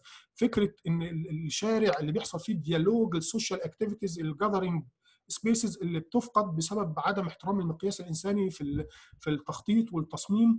فإحنا بنحاول نرجع الكلام ده تاني. فادينا بعد المشروع إن هو يبقى urban approach المشروع بس يعني أنا دايما بعتبر ال- ال- المشروع الناجح هو اللي بيتعدى حدود النفع ال- ال- ال- الآنية أو الحالية بتاعته إن هو مش بس نعمل مركز بغداد للتصميم لأ ده إحنا قدرنا نخلق جوه المشروع فراغ حضري يتعمل له link ببقية الفراغات الحضرية المدينة as networks فأصبح المشروع عبارة عن إضافة للمدينة جميعها وليس بس لل- للبرنامج المطلوب لل- للمسابقة. فزي ما أنتم شايفين هنا آه يعني إن المشروع بيتوصل بالفراغات الحضريه بالشوارع والأزقة والساحات بتاعه ال- المدينة ويخلق فراغ حضري و opportunity جديدة. ف يعني بيسموها giving back to the city إن أنت بدل ما إحنا كنا نبقى greedy وبخلة ونملى الأرض بتاعه المشروع بعبارة عن بلوكات طوب وخرسانه لا بالعكس إن إحنا عملناه مخلل بحيث المدينة كلها تستفيد منه وإحنا went beyond ال boundaries يعني فزي ما أنتم شايفين هنا الممر الثقافي اللي هو ال culture canyon وال plazaات الموجوده هنا دي بحيث تخلق عبارة عن حركة جوه المشروع و new activities يعني. فالمهم بقى إن إحنا كمان ال tectonic اللي هو فكرة إن ال roofs تبقى مستخدمة از سمول يعني village كده فوق الناس تطلع فوقيها برضو experience ال context كله وفكرة ال skylights فدايما ال wall اللي عملناها دي ال light في wash light جاية natural light جاية من فوق هنشوف لقطات بعد كده. فالمشروع الإضاءة الطبيعية بتاعته indirect و very natural وبنستخدم بنحاول نستخدم اللي هو معاني العربية العمارة العربية القديمة بشكل contemporary يعني.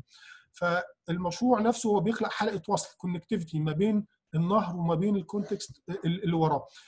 الساحة والبلازا اللي عملناها دي activities free use إن هي ملتقى الناس تقدر تتجمع فيها وتستخدمها. extra city space ال activities والفعاليات. والأهم بقى إن إحنا قدرنا نرجع ال artistic approach للمشروع اللي هو ال artistic street إن إحنا خدنا المشروع as an excuse إن هو يعرض عليه لوحات فنية بتتغير فالمشروع أصبح كأنه كائن حي بيتجدد. فهو يعني دايما إن أنت تاخد المشروع an excuse إن أنت تقدر تستخدم فيه values كتيرة.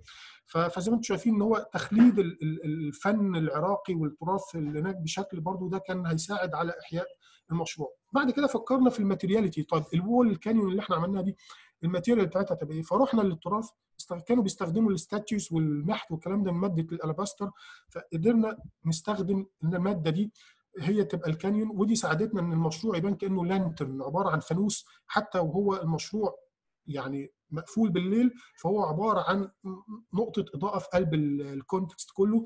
والأهم من كده إن إحنا يعني زي ما أنتم شايفين رجعنا ال workmanship اللي هو فكرة الحرفية والتقاليد اللي كانت موجودة والكتابة السومرية لأن إحنا يعني رجعنا خالص back to, to, to يعني اللي هو الكتابة السومرية والكود العراقي ده لم يشترك معهم أحد يعني. فهو الفكرة إن أنت إزاي ترجع to go dive deep في ال في ال history وترجع بيه في ال في, في ال future تاني.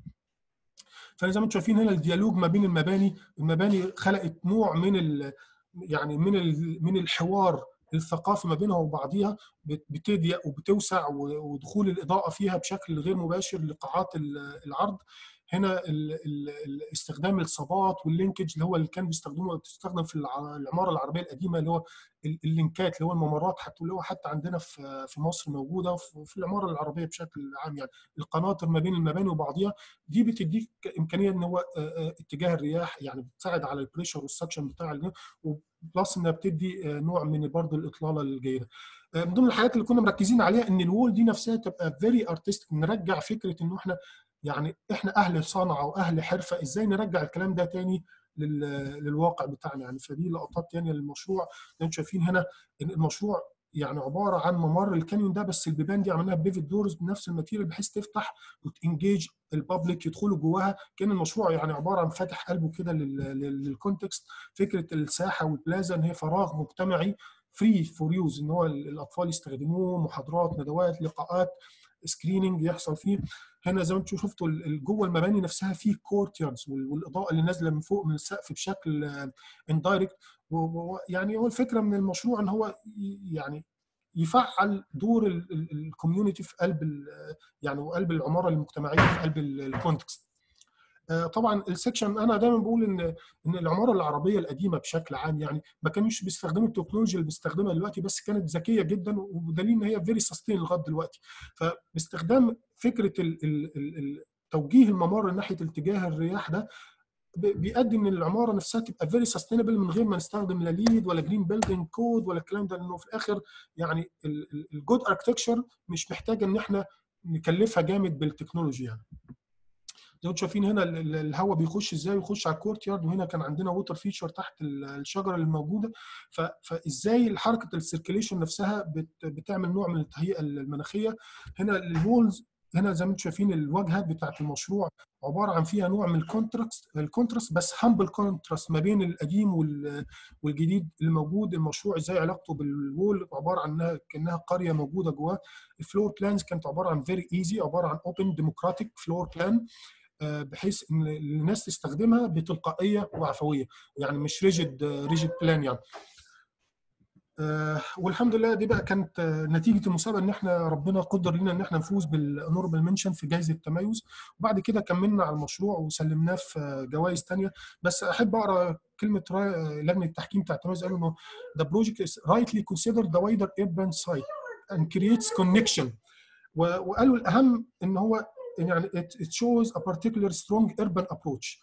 كملنا على المشروع بعد كده الحمد لله قدمناه في جائزة آه، الاتحاد الدولي للمعماريين في باكو والمشروع الحمد لله قدر ليه إنه يفوز بجائزة آه، المركز الثاني في best non realized project about the restoration وبعد كده آه، خدناه بقى الخطوه أبعد. آه، رحنا في مهرجان العماره الدولي في امستردام السنة اللي فاتت. آه، وكان الحمد لله حضور جيد يعني والمشروع اتعرض وقدر ليه الفوز ويعني ويعني كان ده تعقيب لجنة التحكيم. قالوا إن المشروع يعني it's a humble and respectful approach. Towards inherent cultural values of the site. يعني إن المدخل التصميمي اللي خدناه إن هو very humble متواضع و respect بيحترم فكرة ال values اللي موجودة في قلب الموقع. وأحب أنهي يعني ال presentation وأسف لو طولت عليكم إن nation stays alive when its culture stays alive. يعني تبقى الأمم ما بقيت ثقافتها وتراثها وحضاراتها لاننا يعني كما تعلمنا من الدكتور راسم بدران يعني إن هو كان الأماكن وطن والوطن روح.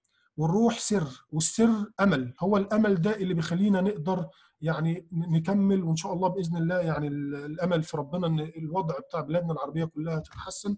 وطبعا بنهي كده إن أنا أحب أشكر ال team اللي هو بقول ال culture canyon project for community وال team كله اللي اشتغل معانا ده مش مجهود إسلام لوحده لا بالعكس مجهود team والحمد لله يعني أتمنى يكون المشروع يكون حاز إعجابكم. شكرا جزيلا.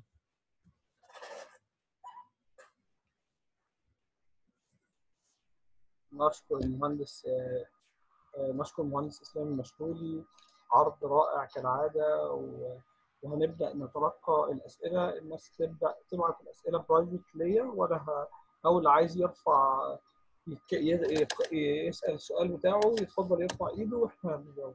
بس آه، أنا عايز أنبه لمجموعه حاجات آه، في آخر ال- الندوة إن شاء الله هينزل هينزل آه، form للزملاء الحضور يسجلوا في ال form ده عشان يتبعت لهم شهادات إفادات الحضور لل event يعني. في أسئلة كتير اتبعتت already أثناء المحاضرات أستأذن حضراتكم هنغطيها الأول وبعدين آه، آه، نبدأ نتلقى الناس اللي عايزة تسأل بنفسها يعني.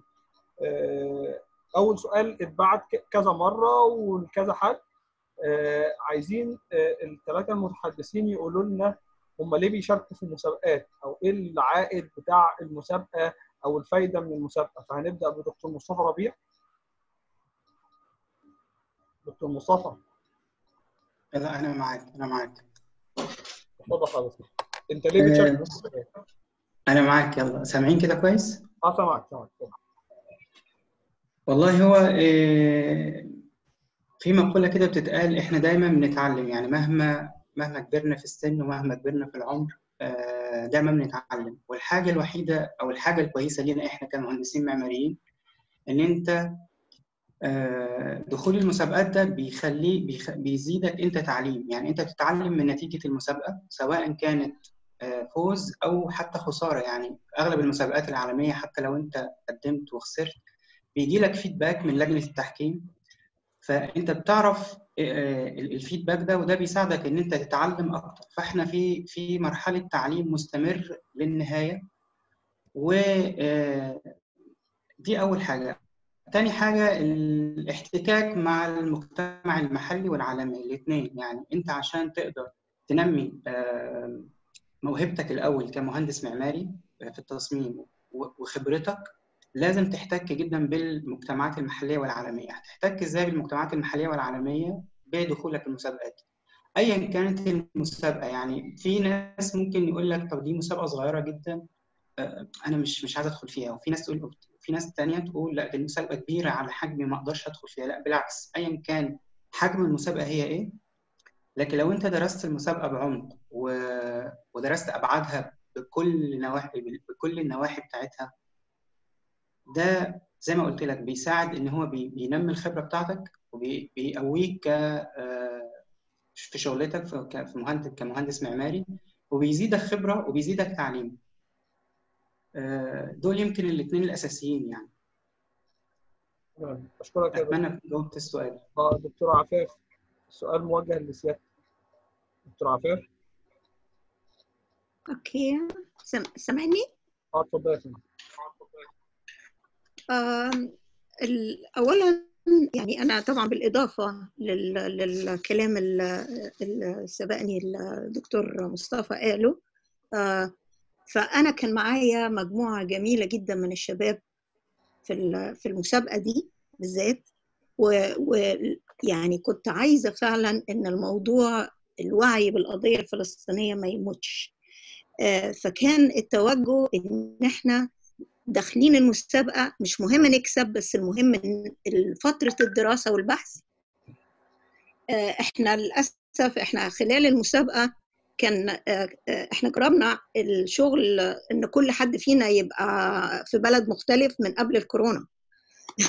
يعني من قبل ال- ال- العزل ومن قبل كل ده وإحنا بنشتغل حد كان في ألمانيا حد كان في ماليزيا حد أنا كنت في إنجلترا آه، آه، في في كان من الناس آه، بعضهم في في أقاليم مختلفة.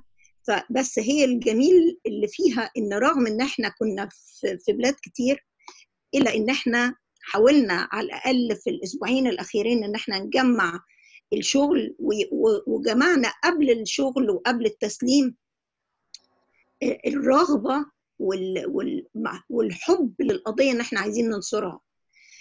كانت ال- الحافز كان عند معظم اللي كانوا بيشتغلوا هو إن المشروع ده ممكن يتعرض في في في باكو أو في مش sorry مش في باكو في في في ال UIA اللي هيتم في في البرازيل في ريو دي جانيرو بس آه، يعني كان الواحد بيقول أوكي إيه اللي إحنا عايزين نقوله لو لو لو المشروع ده اتعرض؟ فإحنا حطينا كل ال- ال- الأفكار اللي إحنا عايزين نطرحها أو إنها توصل لناس. وبس فده كان الحافز بالنسبة للمسابقة دي. أما فيما يتعلق بالمسابقة بالمسابقات بوجه عام فهي هي مهم جدا لأن زي زي أي زي الماراثون أنت ممكن ما تجريش بس لو في ماراثون هتجري أوكي؟ فهي ال- الفكرة إنها بتبقى مناسبة جميلة جدا. أنا بعتبر المسابقة نوع من الفestival اللي بيخلي الواحد يبقى آه بيحاول يطرح أفكار ويحاول ينقل الأفكار دي ل... ل...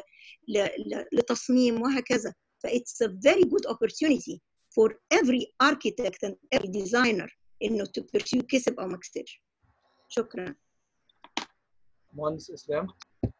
هو أشكرك طبعا أنا مش هضيف كتير عن الزملاء اللي قالوه وأتمنى بس نتيح وقت أكتر لدكتور راسم بدران كلنا نسمع ونتعلم منه يعني. حضرتك دكتور راسم بدران مبعوت لي لسته أسئلة ده أنا هنقل منك لدكتور راسم بدران.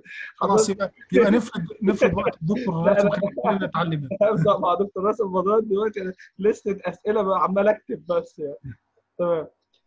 آه، طيب خلاص حضرتك مش هتضيف. آه، دكتور راسم بدران آه، هنستأذن حضرتك تشارك معانا في في الإجابات على الأسئلة من فضل حضرتك يعني.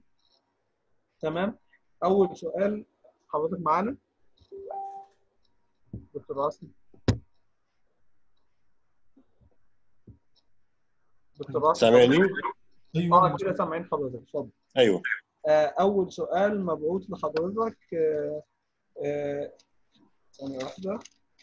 المهندسة هبة بتسأل حضرتك بتقول السؤال هل حضرتك تنصح إيه الطلبة ان هم يشاركوا في المسابقات وايه الاستفادة والخريجين؟ يستفيدوا إزاي من المشاركة في المسابقات المعمارية؟ يعني بلا شك إن المسابقات بتعطي مجال للتنوع. تنوع طبيعة المشروع ال- ال- ال- البيئة الاجتماعية التي يمثلها هذا المشروع أينما كان.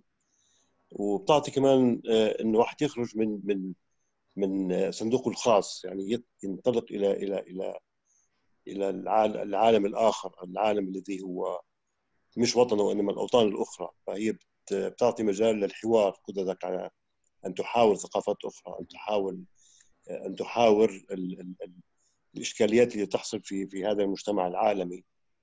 آه، وبعتقد إن هي تعطيك كمان بتضيف آه، معرفة آه، إضافية ما هي العمارة؟ لأن العمارة هي تشكل آه، جزء من من آه، شخصية هذا الإنسان أينما وجد آه، فهناك نتعامل عن نتعامل مع شخصيات متعددة حلو تدخل حالك في هذه الشخصيات وتحاول أن تبرز من خلالها ما هو يشكل يمثل ما يسمى عمارة المكان أو عمارة هذا المجتمع أو عمارة هذه الخصوصية يتميز فيها هذا الإنسان أو هذه المجموعة من الناس. زي ما شفت أنت في المسابقات مثلا زي مشروع بتاع بغداد آه، أنت تتعامل الآن كأنك بغدادي كأنك عراقي وليس مصري. وعندما تتعامل مع مع آه، مع آه، البافليون بتاع البندقية أنت تعاملت مع الصعيد تعاملت مع الفلاحه تعاملت مع أنا عجبتني فكرة انه إنه تترك تترك ما يسمى يعني تبحث عن العمران المجتمعي وليس ال- العمران المادي اللي هي سلوك المجتمع في العمران من خلال ال- ال- اللي بتعمل الخبز دي. يعني لأنه أنا بعتبر إنه المكان عندما تقول ان المكان عامر هو عامر بالإنسان. فكأنه هذه ال- ال- الخبازة اللي بتعمل الخبز هي دي العمارة. عرفت كيف؟ فهي هي أنا بعتقد انه إنه هذا التنوع يثري عقل الإنسان يثري قدرته إنه كيف يتخيل كيف يعني يحول ال- اللا حسي إلى حسي. إحنا إحنا عادة في داخلنا في كثير كثير من الهواجس كثير من من من من التأملات. آه، آه، بس ينقص هذا التأمل. كيف أنقل هذا التأمل ال- ال- الغير حسي الغير ملموس إلى شيء مادي حقيقي؟ يسري هذا التأمل الخيالي. يعني هذا هذه الفكرة بين بين ال ال ال الذي هو في الذاكرة والذي هو بالواقع المعاش. فأعتقد إنه ال- ال- المشاريع اللي طرحت آه، هي تشكل جزء من من حتى متحف فلسطين أو حتى القدس آه، موضوع القدس. آه، مع إنه القدس كان محتاجة قصة أقوى يعني كان محتاج كيف تربط بين عناصر المشروع. وأنا بهمني مش بس المتحف أو أو متحف المقاومة أو متحف تاريخ فلسطين أو تاريخ القدس أنا بهمني ما بين المتاحف ماذا يجري. يعني في رأيي هذه نقطة مهمة حتى القصة تكتمل. فهذا يشكل جزء من من تأليف ما يسمى الانتقال من من من معرفة إلى معرفة أخرى هذه الانتقالات بين المعارف تشكل لك ما يسمى ال- ال- الرؤية الشاملة لقضية هذا المجتمع أو لقضية هذه هذا المكان أو فلسطين أو القدس. بالنسبة لاسلام مشتولي مشروع بتاع وسط بغداد أنا بعرف أنا كنت محكم فيه من ضمن جائزة حسن فتحي جائزة آه، رفعت الجدرجي في في كوفنتري أنا بتصور المشروع طو- طوروا إسلام طوروا للأحسن. يعني أنا شفت إنه إنه اشتغل عليه أكثر.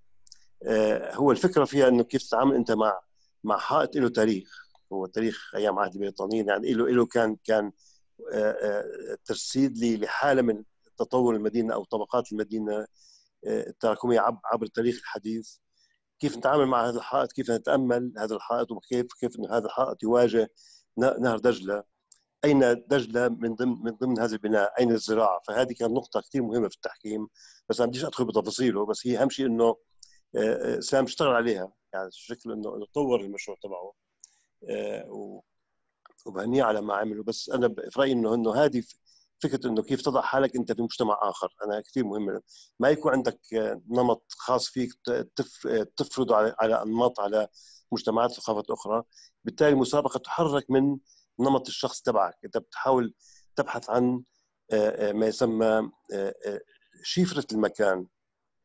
وهذه هي بتحتاج إلى إلى إلى آه، تأمل هذا المكان.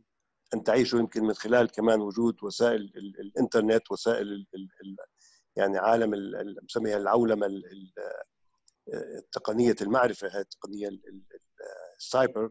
تعطيك مجال إنك تعيش هذا الفراغ. إن كنت من نيويورك ولا إن كنت في باريس ولا إن كنت في برلين فبتصور إنه فكرة إنه إنه المسابقة هذه بتعطيك المسابقات بتعطيك مجال ان إن تتعلم أكثر من أن أن تعمل عقد مع مع صاحب عمل وت وت وتلبي له ما ما يطلبه. أنا هون بلاقي أنت هنا أصبحت آه، وصلت لمرحلة إن العالم لك تتصرف به و و و وليست مرتبطة بجنسيتك. انه كيف تتعامل مع عده تصبح أنت جنسيتك مجموعة جنسيات وليس جنسية واحدة. وهذه يمكن أنا بتذكرني لما كنت في ألمانيا تعاملت مع مع الألمان كأني ألماني. تعاملت مع القدس كأني مقدسي تعاملت مع سوريا كأني سعودي تعاملت مع الكويت كأني كويتي. آه، آه، في بعض المعمرين لا لهم طابع معين. بقول لك بقول لك أنا عاوز أفرز أفرد آه، افرض طابعي أو أو نمطي في في في في حيث أذهب بغض النظر أين خصيه هذا المكان الذي أنا أذهب له؟ يعني بعتقد انه إنه هذه الممارسة اللي شفتها اليوم كثير كثير كانت جيده تعطيك مجال إنه هذا التنوع وكان في يعني اعتبرتها ذكية كيف اختاروا عدة مشاريع في عدة أماكن جغرافية وفي عدة أماكن لها إشكاليات. آه، ب- يعني بهنيكم على هذه ال- ال- ال- على هذه اللي بسموها البوتقه الجميلة من من الأعمال التي عرضت. طبعا تحتاج لنقاش طويل بس ما الوقت بيطلب منا ساعات نناقش كل مشروع كيف ننظر بس على الأقل المشاريع تميزت بأنها تنوعت في في في آه، محتواها ال- ال- ال- القيم قيمي يعني.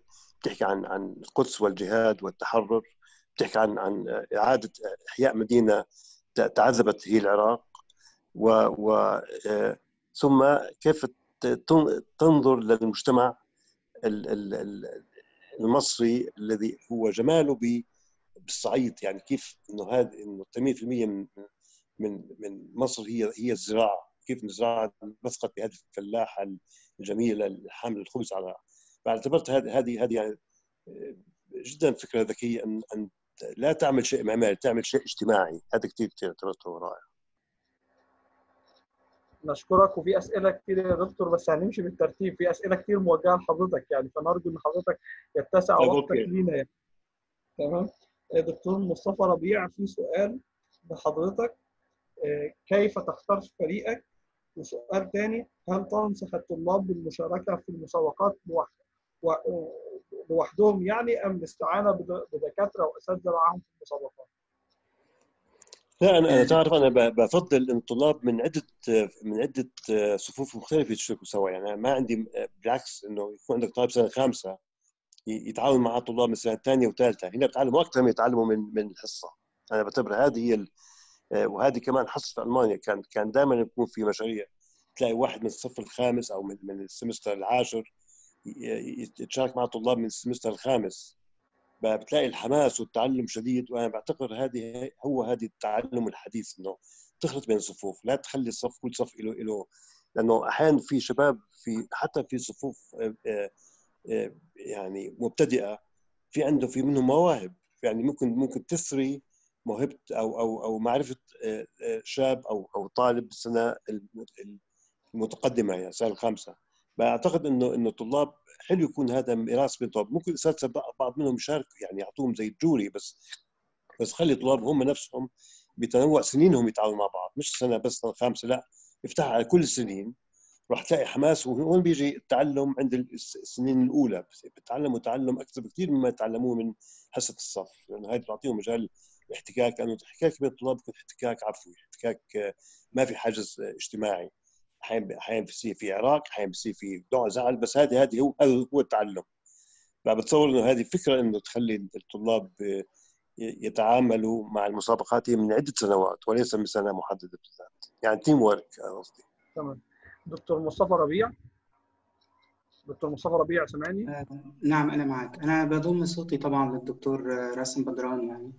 هو الحقيقة مش آه، آه، مش بس كمان يعني آه، طلاب من مختلف ال- المستويات آه، التعليمية يتعاملوا مع بعض. لا بالعكس ده إحنا إحنا بنشجع الطلاب كمان يتعاملوا مع بقية التخصصات مش بس العمارة.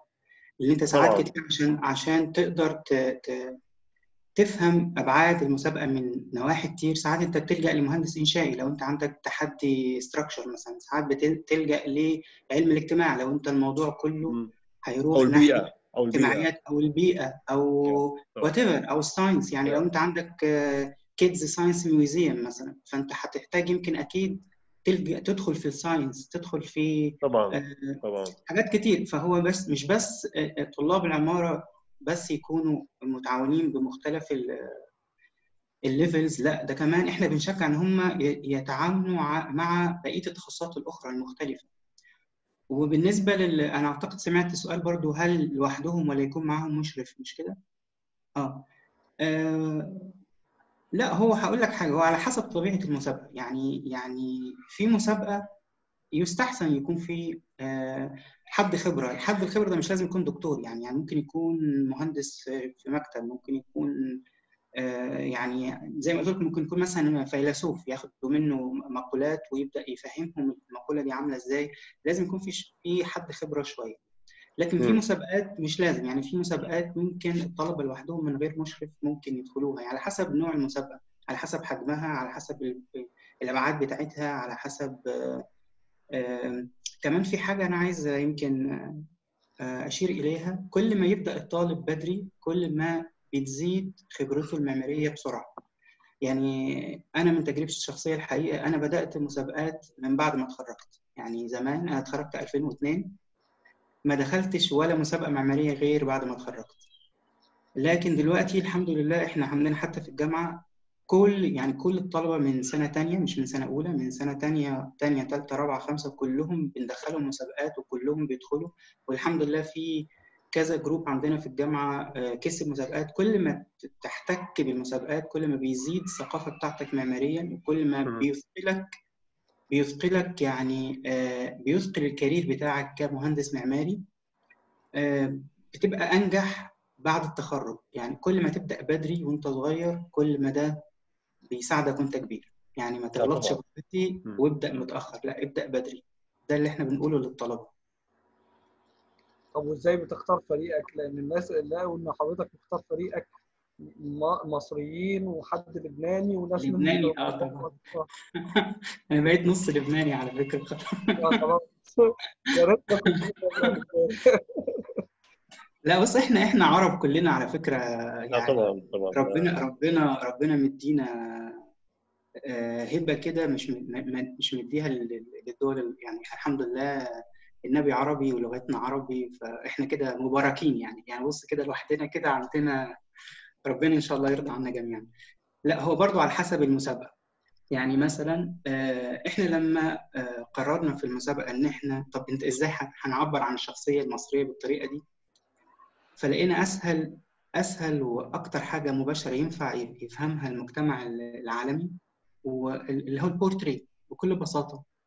ف- فشفنا مين أحسن واحد ممكن من أصحابنا ومن ال- الناس اللي إحنا نعرفهم وكده بيعرف يعمل بورتريهات كويس وبيعرف يشتغل doodle كويس. فكونا الفريق. ساعات ال concept نفسه هو اللي بي- بي- بيشكل الفريق. وساعات زي ما قلت لك مش لازم كلهم يكونوا مهندسين معماريين يعني ممكن يكونوا mix من يعني من إيه من من من مجالات مختلفين مع بعض. وجود رياض الحلبي آه، رياض الحلبي هو آه، أول ما آه، تعرفت عليه رياض كان آه، تلميذ عندنا أو طالب بالمصري طالب في سنة تانية. أنا كنت أول سنة آجي فيها لبنان درست لسنة تانية. ودي كانت أول دفعة أدرس لها في لبنان. والحقيقة رياض كان من الطلبة المميزين جدا وكان من الطموحين جدا. وسبب اختياري ليه آه، لما بدأنا نعمل المسابقة إن هو موهوب وعنده فكر ما بيعملش حاجات سطحية ودايما بيدرس الحاجة كتير فكان كان مفيد جدا في ال brainstorming يعني. آه، سبب اختيارنا لأحمد آه، أحمد كان شاطر جدا في ال digital fabrication وال model making ففي أجزاء كتير في ال في ال في ال pavilion كان محتاج حد يكون خبرة في ال model making واختياري لعمرو علام لأن هو شاطر جدا في ال doodles وعمل ال pop art والبورتريهات. فهو الفكرة هي اللي جمعت ال team يعني بكل بساطة. شكرا دكتور مصطفى. سؤال لدكتور راسم بدران. بصفة حضرتك محكم في في لجان تحكيم كتير. آه، السؤال موجه من إكرام مصطفى. آه، إزاي بتحكموا على جودة الفكرة والجودة المبدئية في أي مشروع كلجنة تحكيم؟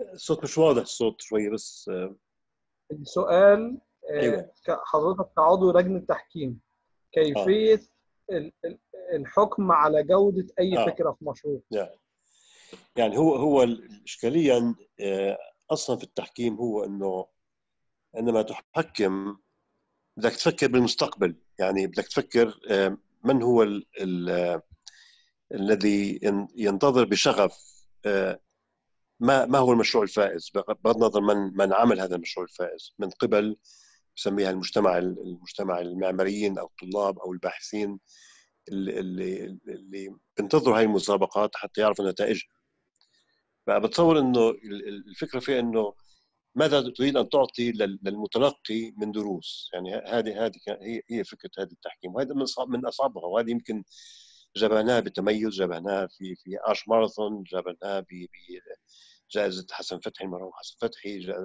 حتى بجوائز كمان آه، أوروبية وإقليمية إنه ما تفرض أنت شخصيتك على على المشروع إنما أو مدرستك إنت عاوز تعطي لل- للطالب أو لل- لذاك الإنسان الذي هو يعني ينتظر بفارغ الصبر آه، كيف يتعلم كيف تعطيه آه، آه، دروس مضافة أو أو أو أو مادة يتعلم منها. وأنا بذكر بالآخان عندما كنت محكم مع الآخان كان أهم شيء إنه إنه تنسى ذاتك تنسى مدرستك المعمارية وتحاول تعطي للمتلقي قيمة يتعلم منها. هذا هذا وهذا على فكرة عند كثير من بعض المحكمين شوية يعني بتروح من ذاتهم هو عندهم ميول شخصية بقول لك أنا حابب هذا العمل حابب النمط هذا خليه ينجح لا لأنه هذا هذا أنت عم بتشكل هو كتاب آخر. هذا كتاب كتاب معرفي للمتلقي. أنت عم تع- عم تعطيه كتاب جديد للتعلم. اذا يجب أن تكون فيها مسؤولية التحكيم مسؤولية كيف تحكم ولماذا اخترت وما هي أسباب ال- الذي أدت هذا المشروع أن يكون هو المشروع المحبب. أو أو أو ال أو ال أو ال الأف- الأفضل من غيره بسبب قضايا آه، لها علاقة بمسؤولية ال- المصمم آه، آه، الرسالة التي يعطيها لمجتمعه أو المجتمعات المعنية في هذه المسابقات. وهكذا يكون في خلاف في خلاف بين بين أشخاص كان ينظروا للتحكيم شخصي إنه أنا مدرستي مثلا تفكيكية لازم لازم لازم أفرض لازم أحط التفكيكيه كرسالة أو ما بعد الحداثة أو آه، أنا الحمد لله آه، عم بحاول أدخل أخرج من نمط نمط النمط الشخصي للمحكم وأبحث عن ماذا أريد أن أعطي دروس للمتلقي بس هذه وهي صعبة شوية. تمام. آه، الدكتورة عفيف بدران تعقيب لحضرتك على إشراك الطلبة في المسابقات اتفضلي حضرتك. okay. هي بس أنا كنت عايزة أعرف بحاجه إن الضرب اللبانه for design and architecture هو hub مش بس للطلبة لكمان لحديثي التخرج للاشتراك في المسابقات. فإحنا لما بنشترك في مسابقة من خلال ضرب اللبانة بنشترك فيها بغرض إن تشجيع الطلبة والخريجين الحديث التخرج آه، أو الناس اللي لم يسبق لها إنها تشترك في مسابقات أو اللي خايفة تدخل في مسابقة لوحدها أو اللي مش عارفة تعمل team إن هي تدخل من خلال hub وهي دي أنا أعتقد إن إحنا إحنا أنا كنت سعيدة جدا بتجمع آه، مش بس على مستوى مسابقه القدس كان في قبل كده ال Science City وقبل كده آه، البنالي وغيرها وغيرها. بس أنا اللي أنا بتكلم فيه إن ده جانب يسعد لأن أنا لما بشوف الاوتكم في النهاية بيدي دفعة رائعة لمسابقات قادمة. فهي بتبقى مرحلة بتبقى لبنة بتوصل لأن بعد كده الناس الناس يكونوا أكثر آه، اقبالا وتشجعا على إن لأ ده أمر مش صعب. بس هي من من جانب آخر هي ليها آه، ليها ال drawbacks زي ما بيقولوا. وده نتيجة إن أنت لما بيبقى معاك team مكون على هذا الأساس مش الأساس الأوحد إنك تكسب أو الأساس الأوحد إن أنت uh, it is not business oriented it is not a professional uh, uh, consultancy أو مكتب داخل على إنه ينافس في شغل. بياخده من من هذا المنطلق. فبس أنا حبيت ألفت النظر للنقطة دي من ال drawbacks مثلا لما إحنا بدأنا مثلا في موضوع القدس بال- بالمتحف المعاناة وكنا هندخل بيه بس ك landmark. بس مع الوقت والأبحاث طلعت أفكار تانية. ما كانش ينفع إن إنك تلغي تبنيها.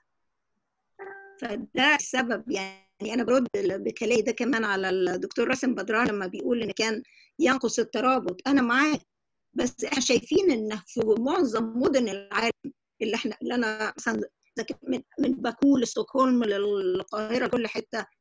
أصلا ال- العناصر اللي بتتعمل مش شرط آه، 100% إن يكون ال landmarks بس أنا مش بقول إن ده آه، بكرسه أو بقول إن ده الصح بس بقول إن أنا آه، وازنت بين إن أنا ما سلمش الحاجات دي وأطلع بس بمشروع واحد ويك- ويكفي لأن أنا كان مسموح إن إحنا ندخل ب landmark واحد okay؟ أو إن أنا أحتوي كل حاجة ويبقى الكل عنده ال- الحماسة وال- وال- ومحبة إنه شكرا.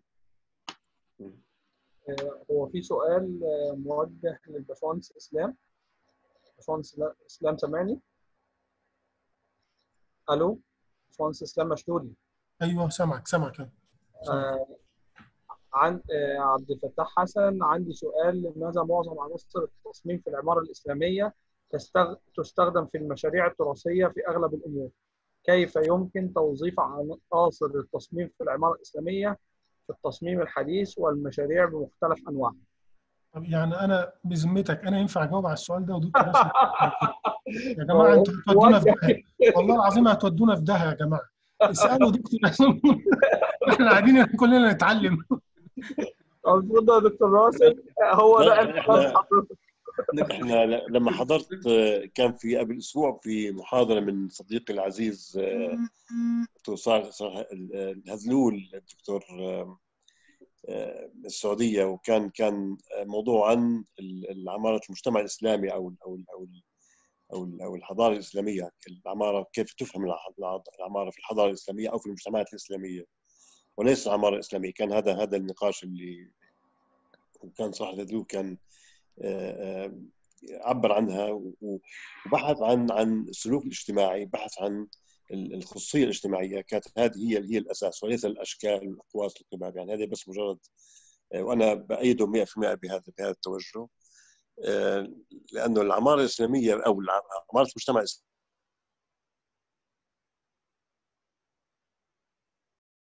القياميه واظن إحنا في مجتمعاتنا هذه هذه رؤية مفقودة يعني أقول مرات تلاقي الإسلام في أوروبا أكثر منه كسلوك أكثر منه في العالم العربي في الدول الإسلامية بقى.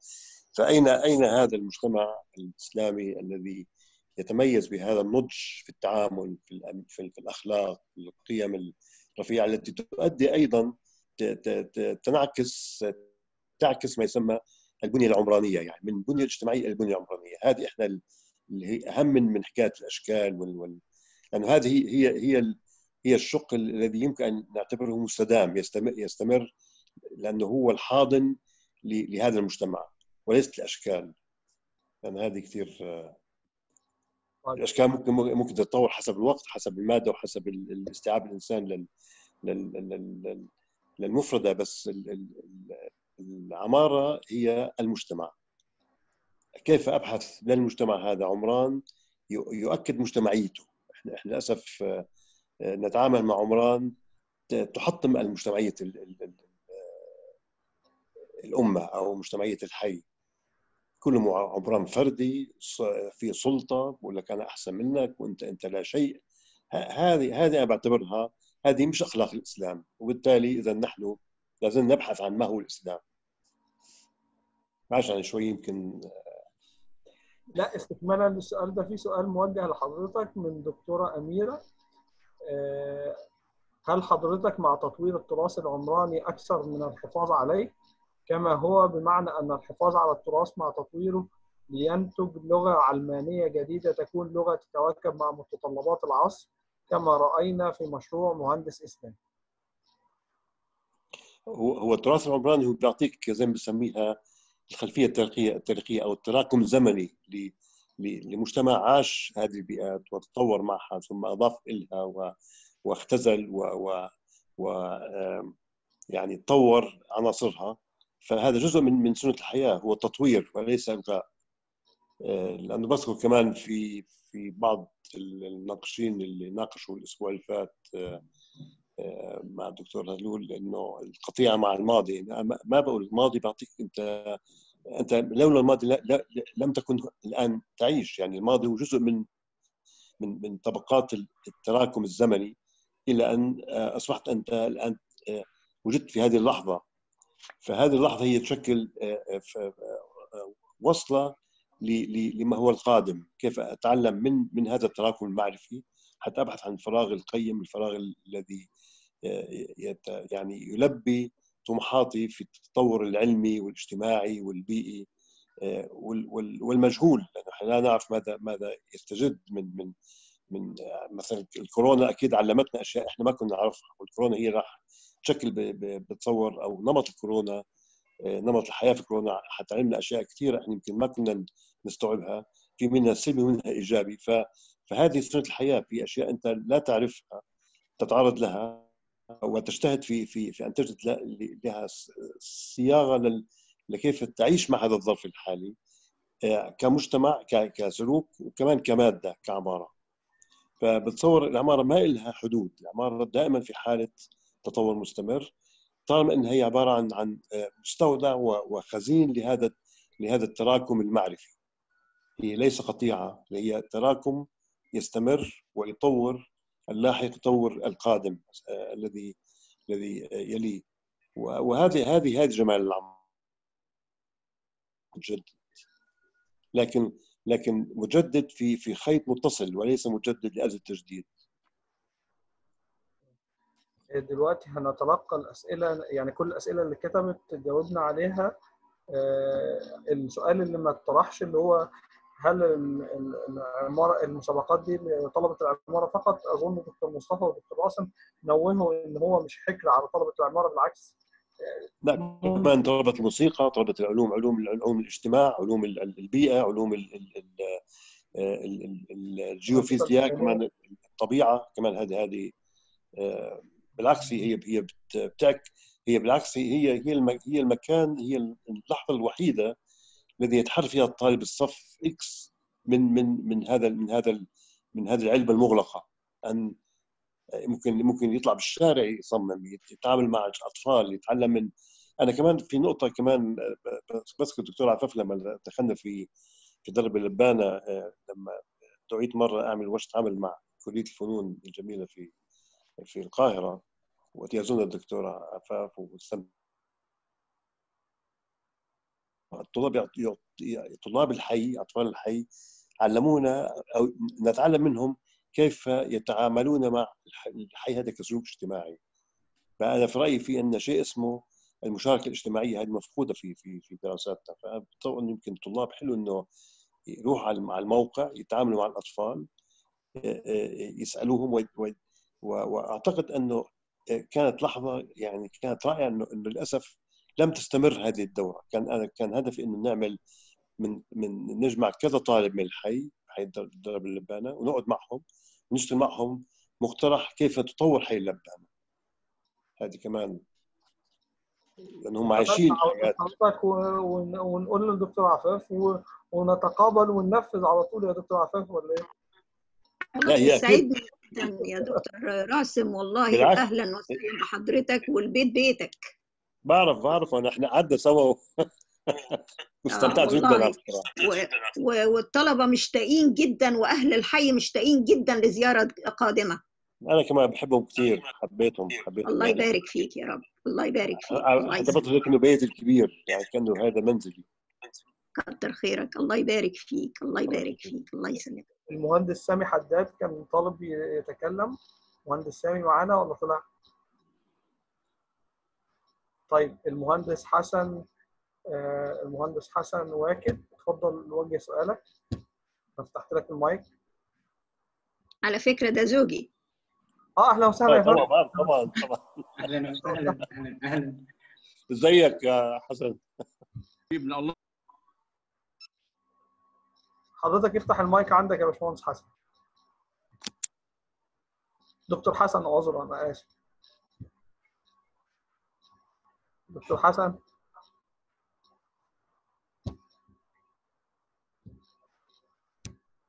ألو آه، افتحي المايك من. طرف كده مفتوح كده مفتوح يا دكتور حسن اتفضل طيب تمام اولا أنا سعيد جدا. أنا دكتور حسن واكد أنا خبرة 40 سنة وكان لي حظ جميل مع الدكتور بس راسم بدران في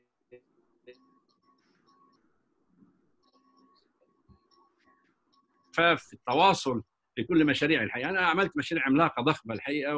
ولي رؤية وودي آه، طبعا الاخوه ده شيء يفرح انه كل منتجاتهم آه، بتبين على إبداع وقدرة يعني على على على حل الإشكالية بصورة حسية جميلة. لكن ليه تعليق عام بعد إذنكم؟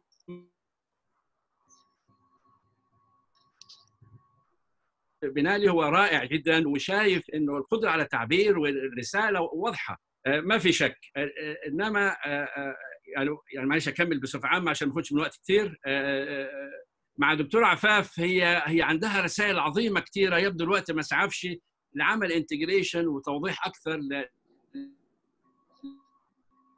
الفكرة العميقه آه، بالنسبة لأخونا آه، الحبيب آه، آه، المشتولي هو إنسان رائع وأنا لي معاه خبرة عظيمة جدا وأنا بعتز فيها. حكيت عن التجربة المعمارية بصفة عامة، التجربة المعمارية عبارة عن تجربة إنسانية، التجربة الإنسانية بتمس كل مناحي الحياة للإنسان وكل معطياته واحتياجاته، ومن هنا ما هياش شكليه ولا هي ولا تنحصر في شيء واحد. الأهم شيء في أي مشروع أو أي مسابقة آه، إنه لما أعكس أو أفهم القضية بوضوح الداخليه آه، آه، آه، يعني تتواصل مع اولا تعطي قيمه ولما تتواصل مع النفس وتتواصل مع الروح وتتواصل مع جميع الإحساس البشري. يعني أعطي مثل مثلا مشروع رائع اللي اشتغل اخويا المشتولي إسلام المشتولي. هو رائع جدا في منهجيته وكل شيء تمام. إنما كنت أتمنى في السعة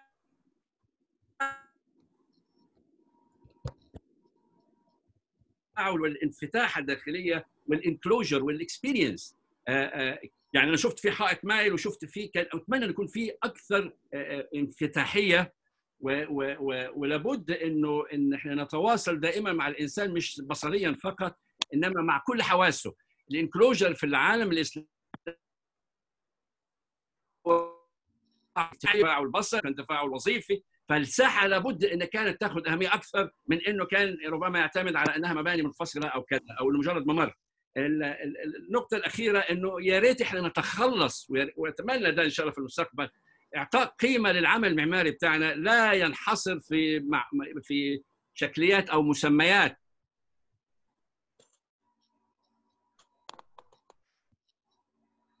الإنساني بكل خبراته سواء ثقافية أو أو أو حسية أو تجريبية أو روحانية اذا إذا كان ش- وإذا- و- و- وموضوع القيمة المضافة اللي تساعد حتى على رؤية مستقبلية. ال- ال- ال- ال- ال- التعايش الحقيقي لأي إنسان مخلص في عمله سواء في التراث أو غير يعني ارتباط شكليات لأن حتى ديننا ديننا لا الرسول عليه الصلاه والسلام والدين الإسلامي ما ما أعطى مجال ابدا لأي حصر عمراني الناس تمشي عليه. من أيام الرسول أخذوا النخل وأخذوا الأشياء الساذجة البسيطة وتعايشوا بها وكانت روحانية عالية.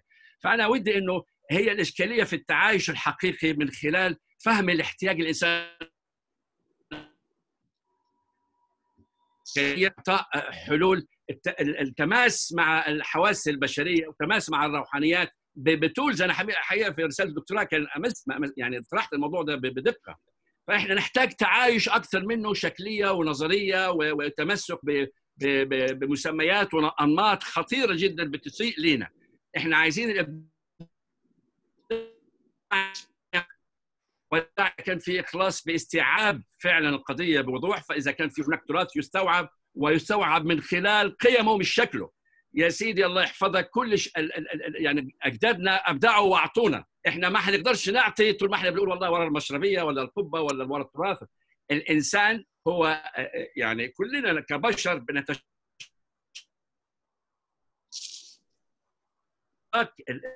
الحسي آه. اللي ينعكس من التراث ينعكس من الثقافة ينعكس أشياء كثيرة ينعكس روحانية. ولذلك يا ريت يكون في ربط بين العناصر هذه سواء من التاريخ وامتداده لقيم إنسانية واضحة ترتبط بالصورة الذهنية. ما في شك ترتبط بالمكان ما في شك لكن لا تنحصر في توجهات معينة. الإبداع والمشاركة في الحضارة المستقبلية. أسف طولت. والله يحفظكم جميعا. شكرا. يحفظك يا فندم. المهندس آه، سامي الحداد. على فكرة يا جماعة عذرا أنا يعني إيه عشان ما ببقاش عارف دكتور ولا مهندس كلنا مهندسين أو معماريين. اتفضل يا باشمهندس. اتفضل يا باشمهندس سامي. الصوت واضح؟ أيوه اتفضل. السلام عليكم ورحمة الله وبركاته. أشكركم وأشكر جميع من حضر لإلقاء هذه المحاضرات اللطيفة والبرزنتيشن اللي صار. وطبعا أمسي على الدكتور راسم بدران وأمسي على الجميع وأنا حقيقة أهنئ أول شيء يعني المعماري إسلام على طرحه في المشروع بغداد وهو خاض تجربة في التاريخ وعمق الحياة والعمران للمجتمع ولأن العمارة والعمران لغة تنبثق من ثقافة المجتمع وبالتالي المفترض أن تنعكس على المنتوجها المعاصر. من من الملاحظ مهندس إسلام خض تجربة فريدة من مراحل التصميم على المستوى العمراني. من خلال التحليل يعني السكونس حقك كان رائع جدا في تشميل المشروع المعماري مع المجموع الحضري اللي كان حول الموقع. معاجله يعني معالجة بصرية متعددة من خلال المراحل التاريخية اللي تفضلت فيها المراحل. وعلى مستوى الربط النسيج المعماري من موقع المحيط أنا لاحظت شيء هناك في انفصال صار. يعني تدرجت في التحليل لحد وصول الموقع الانفصال صار على نوعية الماتيريالز وال وال وتعددها في الموقع وقوتها مقارنة بالنسيج العمراني المجاور. صارت نوع من فوقية كبيرة جدا بين بين الطرح اللي طرحت. وهو أنا على فكرة يعني أتمنى أشوف بهالجودة المشاريع الموجودة لكن ربما في خارج مكان غير الحي هذا كانت أكثر وصلة في العلاقة الاجتماعية لأن الحي لا يعتمد على السائح ويعتمد أو المشروع لا يعتمد على السائح ويعتمد على الموجود. فحتى لما وضعت الجدار التاريخي اللي كان موجود كنت أنا أتمنى بعض الأنشطة التجارية من الخارج إلى الداخل وهذا ربط بينها وبين النسيج. لما نتكلم عن النسيج نتكلم عن وصلة نفس ال... يعني DNA المنطقة. وهذه ال vibe اللي نحتاج اللحمة بين المشروع وبين ال context. المشروع قوي جدا يمتاز بمهارة متعددة على فكرة فيه. وأبي أقول لك على حاجة يعني أنا كان key person موجود لمحته إنه هو من الحي اللي هو الرجل المعمم.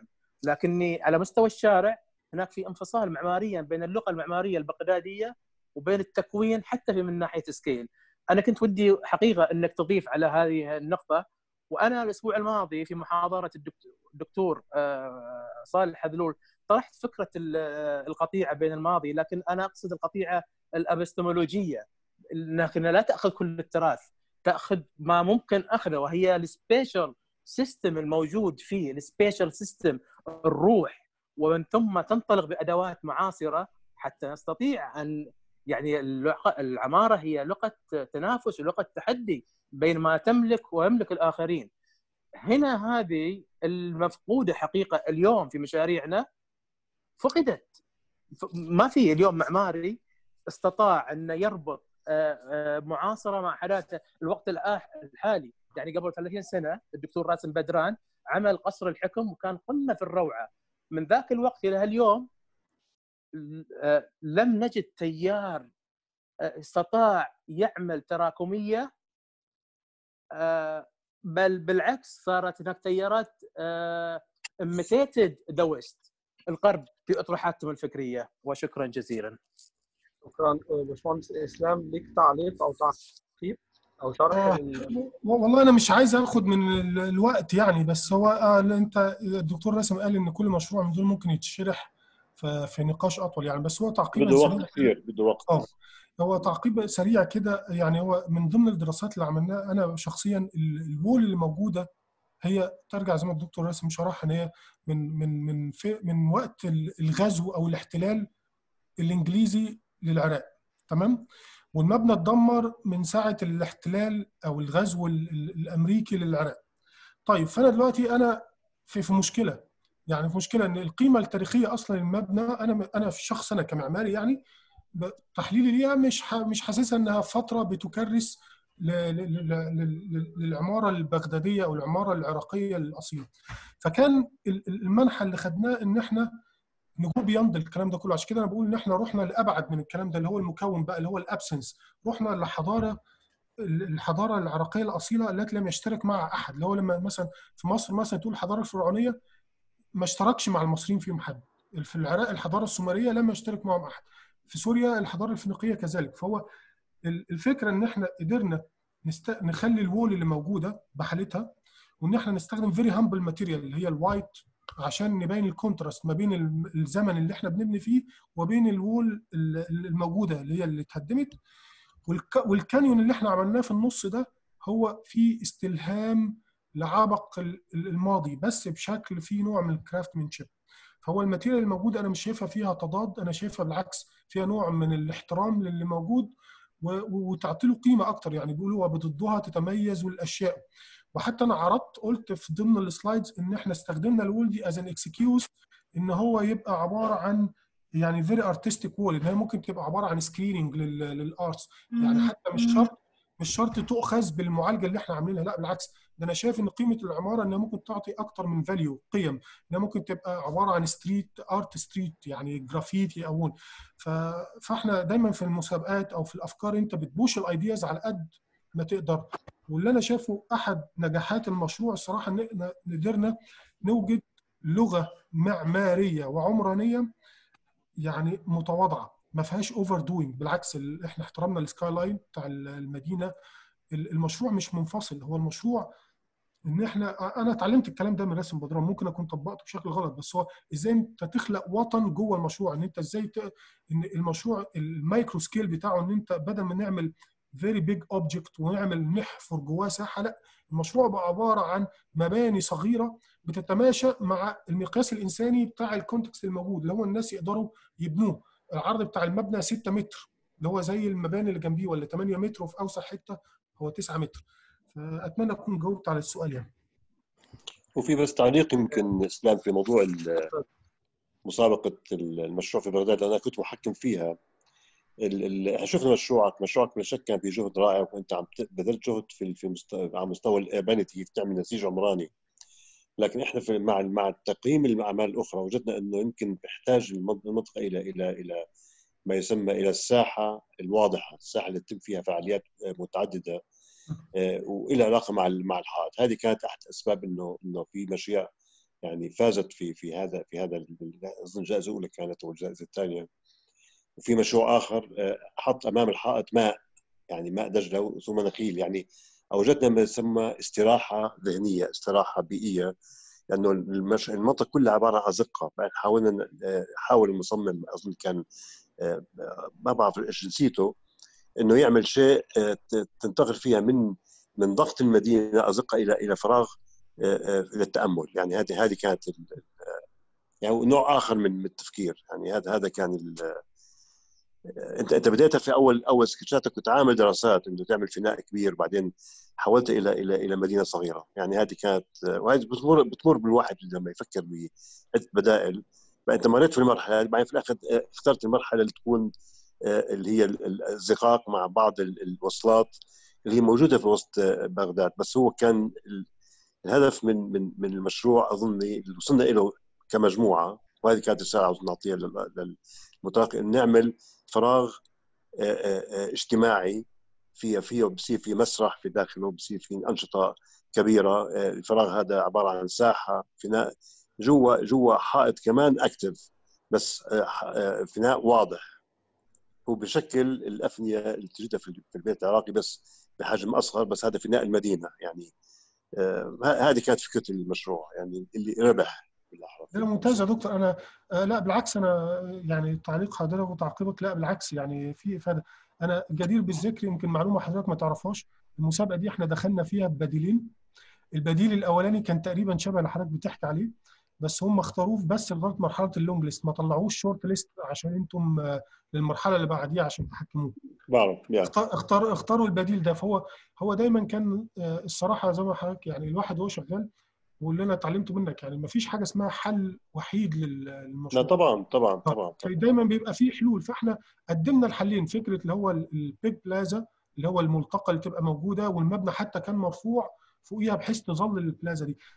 بس أنا شفته كان شوية أنا شخصيا يعني شفته شوية كان overdoing يعني حتى اللغة اللي كنا مستعملينها شوية كانت فيها نوع من يعني شوية look at me building show off يعني. بيحاول يفرض عضلاته.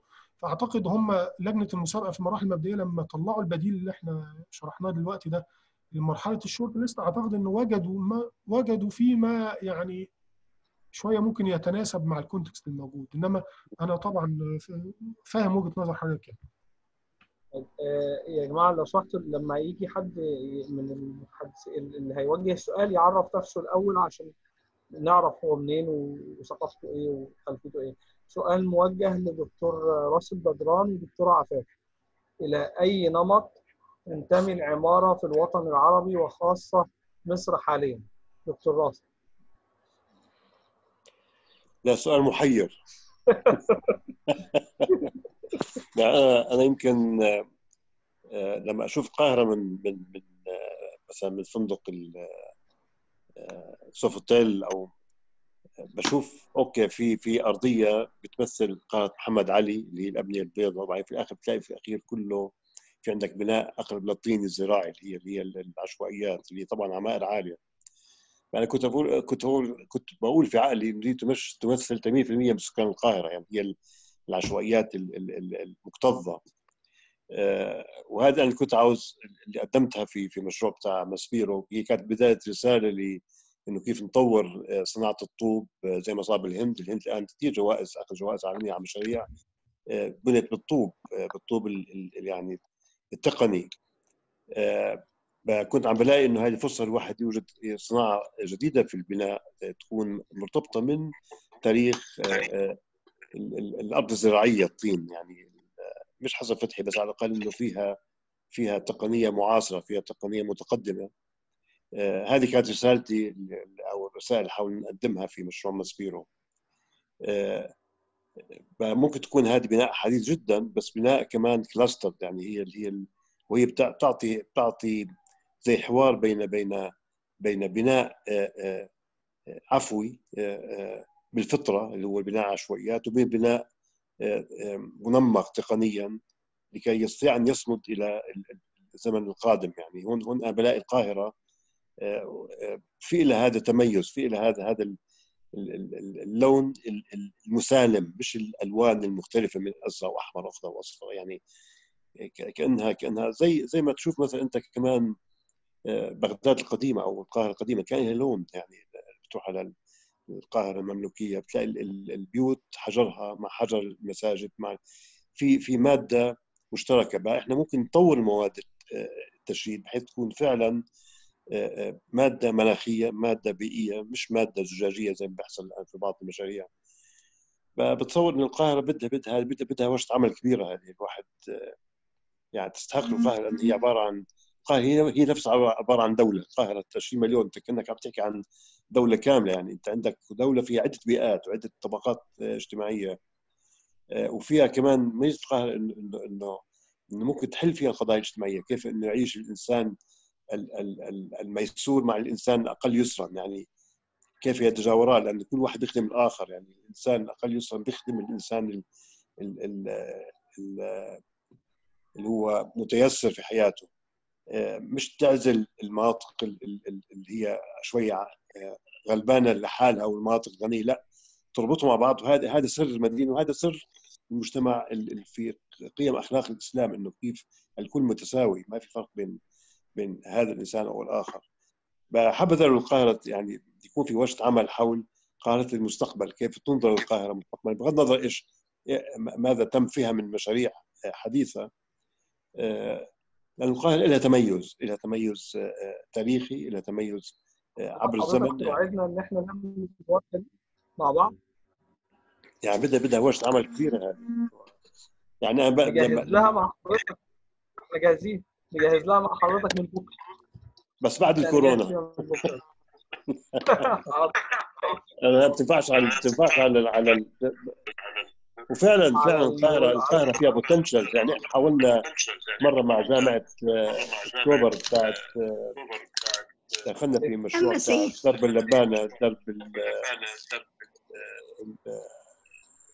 في مشروع مشروعين اشتغلنا عليهم مع مدد. مشروعين اشتغلنا عليهم مع مدد مع مع مع البيئات المحلية وكانت كثير رائعة. يعني القاهرة مادة مليئة بالمشاريع الطموحة. ومشاريع تخدم المجتمع وبعدين مشاريع فيها فيها أصالة تعبير هذه هذه هذه الثقافة التي لا تراها في أي مدينة أخرى. وتكون كمان متقدمة حتى في في في في في مكونها العمراني مكونها التقني مكونها الاجتماعي أيضا. المجتمع المصري مجتمع حي مجتمع يعني يتفاعل مع كل ظرف عكس المجتمعات العربية الأخرى. هذيك شوية مجتمعات فيها شوية تصلب. لا بعتبر المجتمع القاهرة أو المجتمع المصري فيه هذه الميزة اللي بتخلي منه عمارة متحركة عمارة يعني حية وليس عمارة ميتة. فأين الحياة؟ فأين العماره الحية؟ عم ببحث عنها. يعني هذه هذه المفروض إحنا نبحث عنها. دكتور عفاف إجابة السؤال موجه لحضرتك برضه. طيب هو طبعا مدن المصر سامعني؟ هعيد السؤال حضرتك عارفه السؤال؟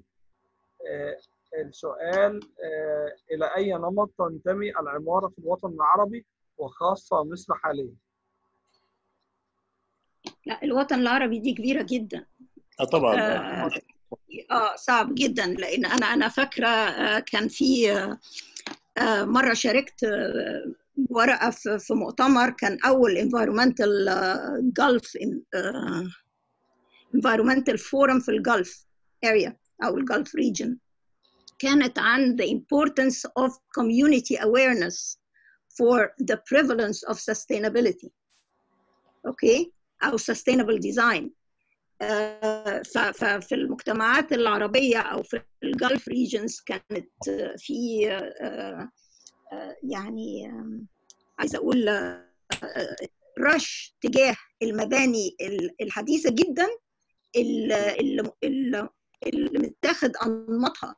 من الخارج واللي كتير من اللي بيصمموها برضو أجانب وكانت النتيجة إن مسطحات زجاجية رهيبة من قبل حتى ما يبقى فيه زجاج بيقدر يعني يصد ال sun radiation وال solar effect ف وحتى يعني الحمد لله دلوقتي بقى فيه إنك ممكن تحط layers على ال على ال على المسطحات الزجاجية.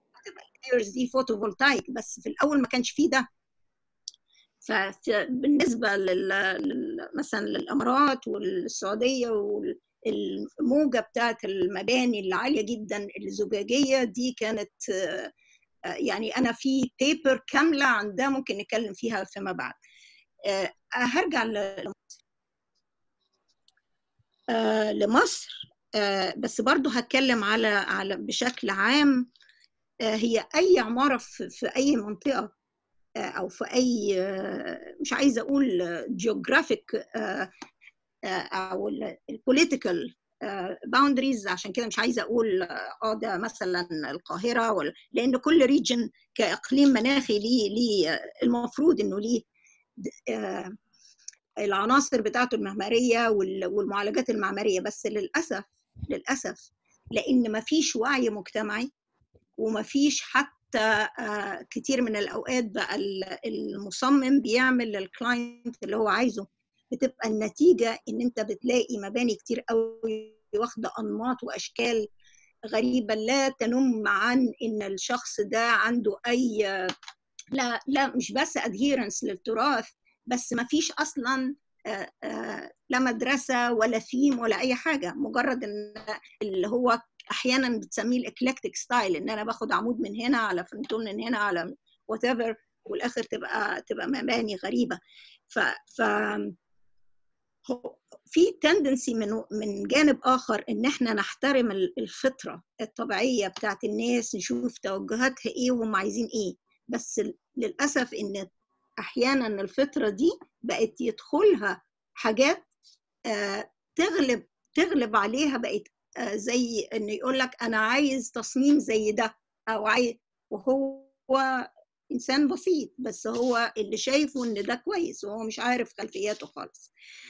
فللأسف زي ما الدكتور راسم قال الموضوع محتاج محتاج لا جلسة فعلا لوحدها أو أو ورشة بمعنى أصح ورشة عمل كويسة علشان يا ترى هي النمط المعماري يبقى تبع البيئة ولا يبقى وراه مدرسة sustainability ولا يبقى تعبير عن الناس ولا يبقى تعبير عن اقتصاد البلد ولا يبقى تعبير عن ال accomplishments زي زي ما حد يعمل cantilever 26 متر ويقول أصل إحنا قادرين. واخد بالك إزاي؟ فكل الحاجات دي بتدخل في الموضوع.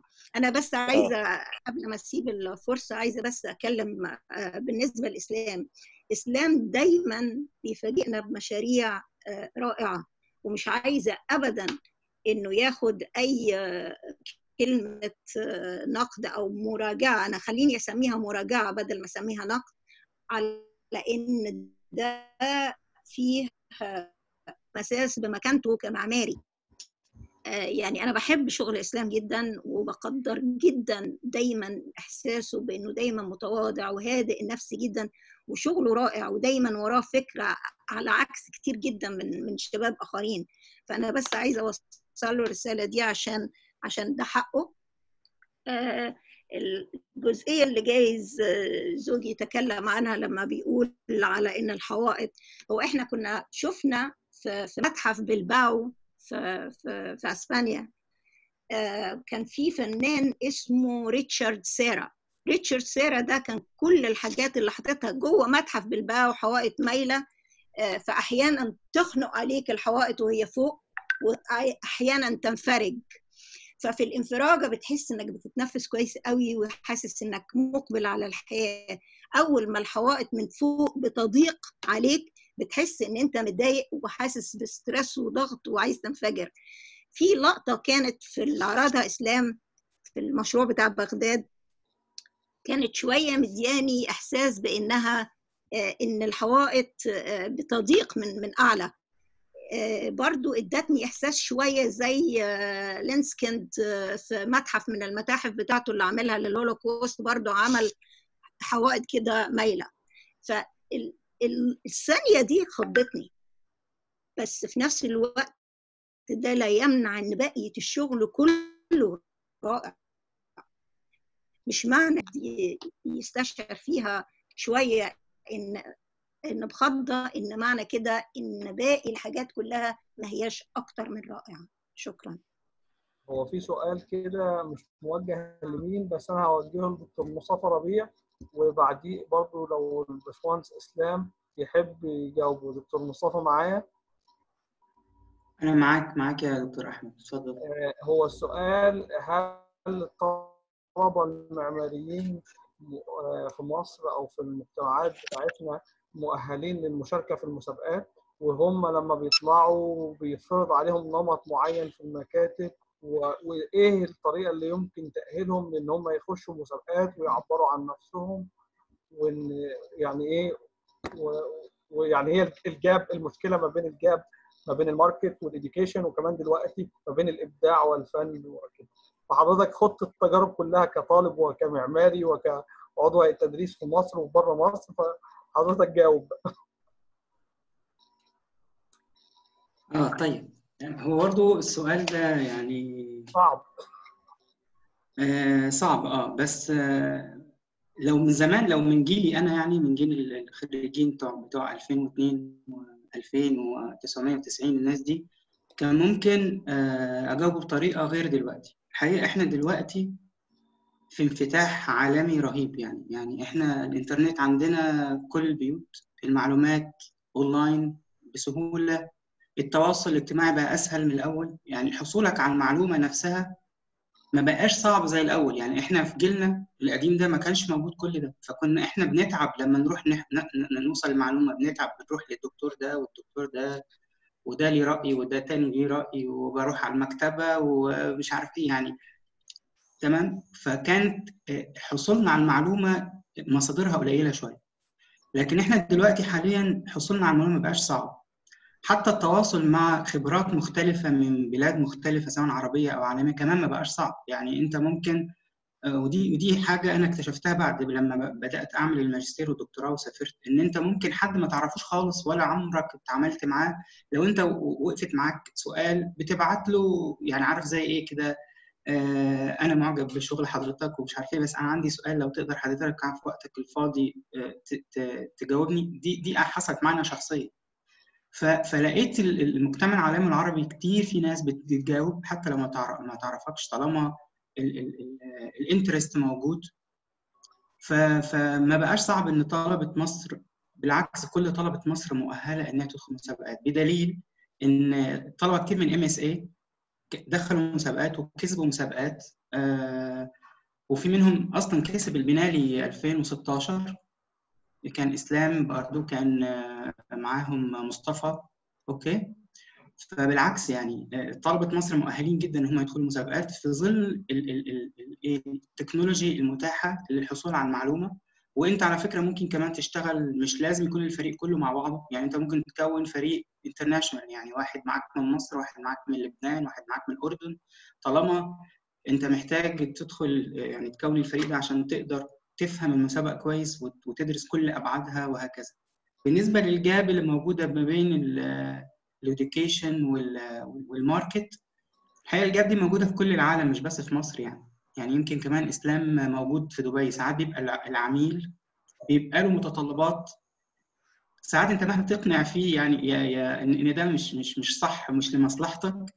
ساعات كتير ال business بيفرض عليك أو أو صاحب الشغل بيفرض عليك أو العميل بيفرض عليك إن أنت آه، تلبي له رغباته. ولكن عشان كده السبيل الوحيد ان انت تعبر عن رأيك وتعبر عن فكرك واللي انت مقتنع بيه أكتر هو المسابقات.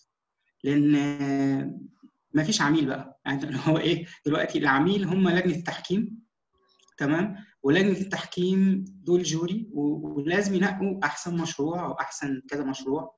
فالبيزنس وال- والمصالح الشخصية وال- والمصالح السياسية ما بتدخلش في القرارات التصميم تماما. تمام؟ آه، التعليم الحمد لله كمان دلوقتي في مصر الحمد لله بقى أحسن من الأول بكتير. أنا كمان عايز بس أقول حاجة يعني لما نيجي نذكر كلمة مصر دي أغلب الناس بتيجي في ذهنها القاهرة العاصمة تمام؟ والمشاكل اللي في العاصمة والتعليم اللي في مصر والعشوائيات وال... بس على فكرة مصر مش مش القاهرة بس يعني هي طبعا العاصمة أكيد بس مصر على فكرة لو أنتوا رحتوا النوبة لو أنتوا رحتوا أسوان لو أنتوا رحتوا الأقصر. هنا آه، الصعيد لو طلعتوا على البحر الأحمر سفاجة الغردقة آه، راس غارب آه، رفح دهب رحتوا على سينا طلعنا فوق رشيد دمياط الساحل الشمالي. على فكرة جودة التعليم التعليم لسه موجودة. يعني في الصعيد جودة التعليم لسه موجودة لحد دلوقتي. بالرغم كل المشاكل اللي إحنا نسمعها طبعا عشان القاهرة فهي ال- spot الكبير بتاعنا بس على فكرة مصر لسه فيها الخير يعني سواء في التعليم حتى في ال في client يعني حتى في ال gap ما بين التعليم وال market ده مش مش هتلاقوه في المناطق التانية. يعني دايما إيه إدي العيش لخبازه. لسه لحد دلوقتي بقية المناطق بقية ال regions اللي في مصر مقتنعين بيها إلا القاهرة والعاصمة. يعني ساعات إيه بقى يعني المصالح شوية في القاهرة وال- والسياسة والاقتصاد وال business ساعات بيتدخل كتير. لكن آه، لكن في بقية ال regions لا الموضوع أخف شوية. آه، أعتقد كده أنا جاوبت السؤال ولا في حاجة تانية ناقصة؟ يعني ما بين آه، في حاجة تانية ناقصة ولا خلاص؟ ده تمام. كده؟ تمام. اسلام تحب تعلق على ال gap وال education وال market؟ لا هو شوف هي دي دي دي معضلة عمرنا ما هنخرج منها يعني بشكل بسيط بس هو يعني نصيحة لنفسي وال- والناس اللي في سني والأصغر إن إحنا نحاول نستفيد من الوقت اللي إحنا فيه. يا جماعة إحنا بنتكلم رسم مدران ده يعني أنا أنا فاكر أول مرة قابلته فيها لو ما كنتش مصدق نفسي أصلا. فإحنا اقصد نقول إن إحنا في جيل يعني أتيحت لنا فرص آه، يعني التكنولوجي وال- والتقارب والكلام ده. هو هو دكتور راسم بدران يعني آه، يقول لك إن هو بيقعد أنا مش عايز أتكلم عن اسمه بلسانه هو بيقعد ساعات كده على ال Google Earth يفضل يشوف ال urban يمسك حتة عشوائية كده يعني organically كده ويفضل يدور ويعرف وبيقول حياتنا بعد ال Google Earth كمصممين المفروض تختلف قبل ال Google Earth طب إحنا دلوقتي بقى مش بنتكلم على Google Earth إحنا دلوقتي بنتكلم على ال- ال- digital media بقت موجودة ال- الإتاحة. سهولة آه، التواصل. يعني فالكلام ده أكيد المفروض يخلينا إحنا نبقى في وضع أحسن. يعني أنت زمان عشان كنت تقرأ كتاب ولا تعمل تروح مكتبة وتفضل دلوقتي إن أنت ممكن وأنت قاعد في مكانك بس هو المشكلة إن ال easiness بتاع الحياة ساعات بي بيولد laziness في الناحية الثانية بيخلي الإنسان lazy بس الإنسان اللي عنده يعني مؤمن بمبدأ وطموح وكده يقدر يستفيد من أدوات العصر دي بشكل آه، كويس يعني. تمام دكتور تغريد الجهني من المملكة العربية. اتفضل يا دكتور. دكتور تغريد. دكتور تغريد. أيوة السلام عليكم. عليكم السلام. اتفضل يا فندم. الصوت واضح؟ واضح اتفضلي. آه حقيقة يعني المشروع اللي حضرته اليوم مشروع جدا رائع. آه أنا أشكركم على هذه الورشة القيمة وأشكر كل المشاركين.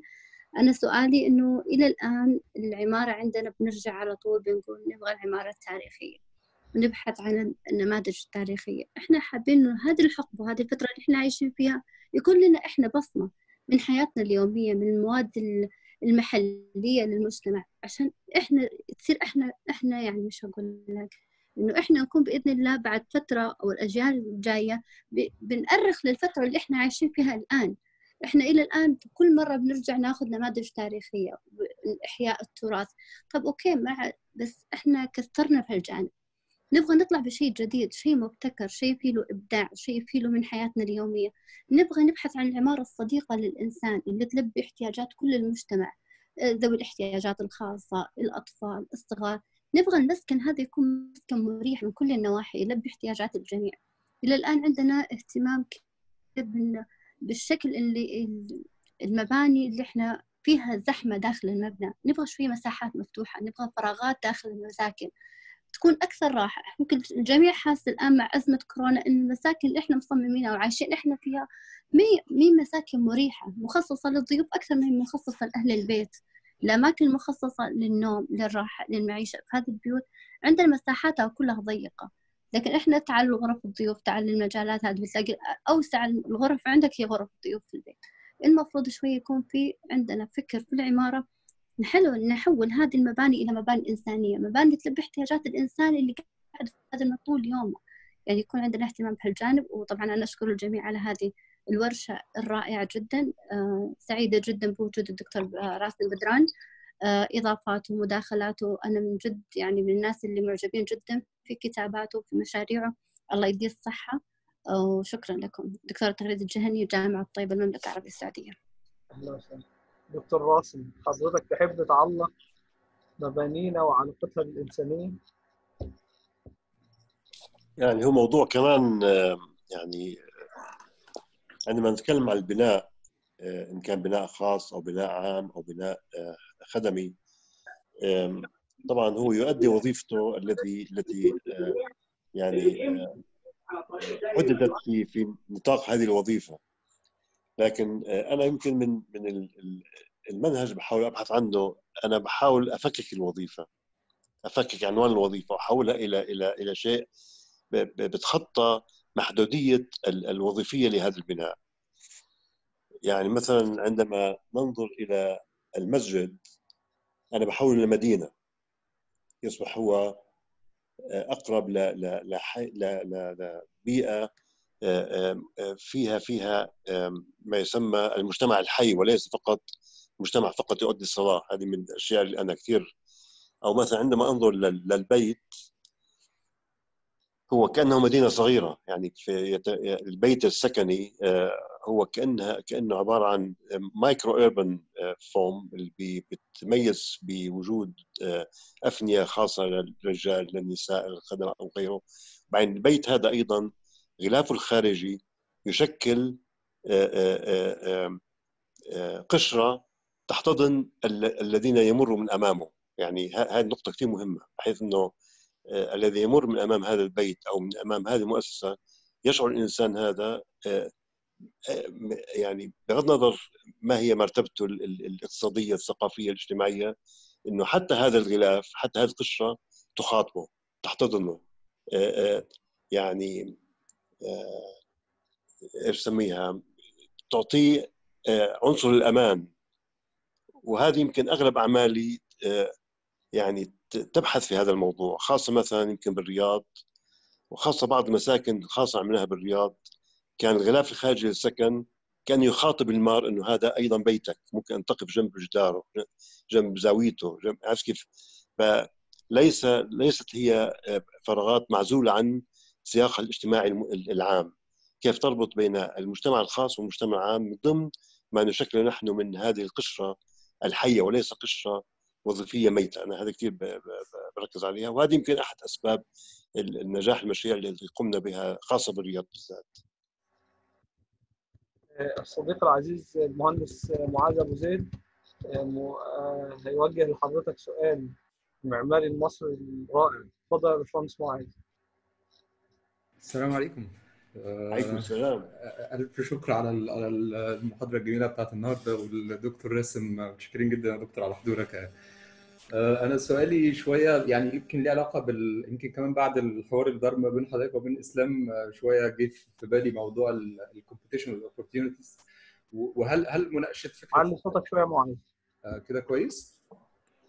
أيوة. ال- السؤال يعني باختصار هل مناقشة الفكرة التصميمية في في يعني في أي مسابقة مع لجنة التحكيم مش هنقول طبعا لكل المتسابقين بس على الأقل تكون لل short list اللي هي ال- ال- ال- ال list النهائية اللي هيختار منها ال- الفائز أو الفائزين بالمشروع. هل هي ممكن يكون ليها تأثير إيجابي أو سلبي؟ آه، على على ال- ال- المسابقة نفسها أو على المتسابق؟ آه، أنا هتكلم من من وجهة نظري أنا كمتسابق أعتقد هي بيكون فيها استفادة بشكل جميل جدا وبيكون فيها حوار ثري ما بين المتسابقين وبين لجنة التحكيم. واعتقد يمكن الحوار اللي دار دلوقتي ده إحنا يعني طلعنا منه بمعلومات مفيدة. آه، على عكس مثلا لما بنبقى مجرد إن إحنا بنسمع عن النتيجة بس وخلاص بدون ما بيكون فيها أو حتى بنقرأ بس مجرد ال points من من ال- التحكيم يعني. آه، ولو الموضوع فعلا مؤثر وممكن يكون في آه، تأثير بشكل إن هو يكون الناس تتعلم منه وتستفاد منه هل هل هل المسابقات ما بعد الكورونا ممكن ده يبقى جزء أساسي من معايير التحكيم فيها؟ شكرا ألف شكرا يا دكتور. مسابقات ما ما هو بالكورونا أو ما بعد الكورونا؟ ما بعد الكورونا يعني آه، اللي هي يعني خلينا نقول المعايير التحكيم نفسها. هل نعم. هل المناقشة نفسها؟ يعني إحنا في- مهرجان. العماره. آه، حصل مناقشة كتير. اتفضل. يس. أنا بقول يمكن يمكن آه، ما بعد الكورونا أنا ما بعرف إذا كان حيكون في كورونا أخرى غير بعدها. يعني أنا يمكن حيكون في في ما يسمى ال ال ال البيئة ال- ال- المناخية أو أو أو أو أو آه البيئة التي تهدك بال- بالخطر. هذه النقطة اللي والتي تؤدي أيضا إلى تباعد اجتماعي بين بين بينك وبين الآخر. آه هذه من جهة. كيف كيف نبحث عن سياق عمراني آه أو أو نسيج عمراني آه يعني يتعامل مع هذه مع هذه الحالة؟ أنا هذه لسه عم بفكر فيها. يعني هي نقطة كثير مهمة. ثم النقطة الأخرى إنه الكورونا أو أو أو ال- ما ما طرأ الكورونا أوجد ما يسمى ال micro community المجتمع المصغر ال- ال- الأحياء المصغرة بحيث مدننا لا داعي أن تكون مدن مركزية ضخمة ممكن تتحول إلى قرى صغيرة يعني بحيث إنه كل حي يخدم بذاته بذاته. لا لا في حاجة تستعمل السيارة ممكن تستعمل الدراجه أو تسير على الأقدام وهذا الذي تم بعمان ولذلك أنا استمتعنا بالكورونا في فترة إنه أصبحنا لأول مرة نسيب الشوارع ونتعرف على على على على الجوار الاجتماعي الذي هو كان معزول آه، في فترة طويلة من الزمن. فهنا تشعر إنه ممكن تخاطب أي إنسان بالشارع تحييه ويحييك مع إنه في بعد مع إنه أنت إذا أوجدت تقييم اجتماعيه أخرى مضافة لم تكن متوفرة في فترة ما قبل الكورونا. فبتصور أنا يمكن مشاريع ما بعد الكورونا حتكون لها منظور آخر. وان شاء الله أصحاب القرار في التطوير العمراني ال- المدني للمدن إنه لا نركز على ما يسمى المدينة المركزية الضخمة. تتحول إلى مجموعة مدن صغيرة أو ما يسمى ال rural community اللي هي المدينة القروية التي فيها الحي هذا ممكن يخدم بذاته بذاته أنت تعمل فيه وتسكن به وت- وتؤدي حاجاتك منه من التسويق ومن الوظائف الأخرى الحيوية في حياتك. بدأ ان تذهب إلى ال إلى ال إلى ال- البيج مول. يعني أنا بتصور إن شاء الله يتغير هذا الشيء لأنه أنا بعتقد انه إنه آه، كان في متعة ان ان تعيش آه، حيك اللي حولك وتتعرف عليه وتصبح أنت جزء منه. يعني آه، الشيء الآخر آم، بتصور إنه حتى البيت نفسه ممكن يتحول البيت إلى إلى إلى أشبه ب آه، ما يسمى البيت عندما تعيش بالحظر المفروض عليك. وهذه تمت يمكن مش عارف كم كم شهر عشنا إحنا في عمان هذا الحظر ال- الحجر الصحي الحجر ال- ال- ال- الاجتماعي إنه كيف البيت يتحول أيضا إلى إلى شيء يضيف شيء لحياتك الاجتماعية حياتك النفسية. آه، يعني يمكن تعمل حديقة في داخل البيت هذا في داخل الشقة على على الدور الرابع تعمل ساحة معلقة بحيث إنه تستمتع بالهواء النقي. لا تحس لا تشعر نفسك أن تعيش ب ب ب ما يسمي يسميها ب يعني بسجن آه، معزول عن عن بيئته الطبيعية. أنا بتصور هذه نقطة مهمة حتغير من نمط البيوت حتغير من نمط ال- ال- الشرفات. تصبح هي أشبه بشرفات زراعية. آه، في حالة لما تصير في حظر آه، قصري على السكان. وأنا لا أعرف ما بعرف ماذا سيستجد في المستقبل من من آه، ظواهر آه، بيئية مناخية آه، ت- تعيدنا مرة أخرى إلى إلى إلى كورونا ويمكن إلى إلى حالات اسوء من كورونا. كيف ممكن أن نهيئ مدن تتحمل أو تتف- تتعامل مع هذا المستجد المجهول ولا ولا تؤذي الإنسان آه، بلا شك صار في أمراض في أوروبا في ناس أصيبوا بمرض نفسي في ناس انتحروا. يمكن هذه صارت نقطة عالمية إنه البيت يشكل عنصر آه، كأنه مدينة صغيرة في داخله كأنك أنت بتعمل فراغات في داخل هذا البيت بحيث إنه لا تشعر بالضجر ولا تشعر بال بال بال بالقهر وال وال وال- والبعد القصري عندما تكون أنت مسجون في هذا البيت أسابيع. فأكيد حتتحول ويمكن حتى الدراسه بالجامعات نعمل ابحاث نعمل عليها ندوات إنه كيف ننظر للبيت. يعاد فهم اعاده فهم البيت وليس الفيلا البيت الشقة السكنية آه، والحي السكني. لا تبحث عن مركزية المدينة مركزية خدماتها. تصبح خدمات موزعة خدمات تفكك خدمات المدينة بحيث تصبح موزعة على احياء صغيرة وهذا الحي هو يصبح قادر أن يعيش مع مع ذاته بمجتمعه في حال عدم استعمال السيارة فرضا يعني هذه كانت احد أحد ال... بقى يمكن كورونا أعطتنا عدة عدة فرائض وعدة نقاط يجب أن نقف عندها بت- بتمعن وتأمل وناخذها بجد إنه كيف يمكن من خلالها نعيد صياغة مفهوم السكن، مفهوم الحي، مفهوم المدينة وما هي المدينة. آخر سؤالين يا جماعة هناخدهم دكتورة أميرة ثم دكتور حسن آه، وبعدين هن... آه، كل واحد من المتحدثين هيقول كلمة ختامية في مدة دقيقة بس هستاذن حضراتكم تبدأوا تفتحوا الكاميرات عشان ناخد الصورة الجماعية في آخر اللقاء إن شاء الله. ال- الكلمة دلوقتي السؤال مع دكتور أميرة اتفضلي. آه، السلام عليكم آه، آه، السلام عليكم جميعا طبعا أنا بشكركم على السيشن الرائعة دي وبشكر دكتور آه، راسم بدران على المشاركة اللي يعني في فكرة فعلا أسرة اليوم. ودكتور إسلام هي مش سؤال قد ما هو آه، يعني آه، رأيي أنا يعني يعني أنا أولا دكتورة أميرة ألماظ أنا أستاذ مشارك عمارة داخلية كلية هندسة جامعة حورس.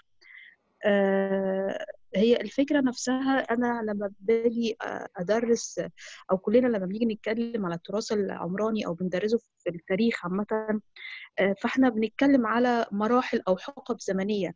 أنا اللي أنا أتمناه في المسابقات القادمة إن إحنا نحمس الشباب إن إحنا نعمل التراث اللي قادم لما لو إحنا لو أنا حاجة أتخيل نفسي أو نتخيل الشباب اللي طالع ده لما يجي يدرس بعد كده هيتكلم على أي تراث في الفترة اللي إحنا عايشينها أو يمكن ده كان من الحاجات اللي جت من ضمن السؤال الأسئلة اللي جت لحضراتكم.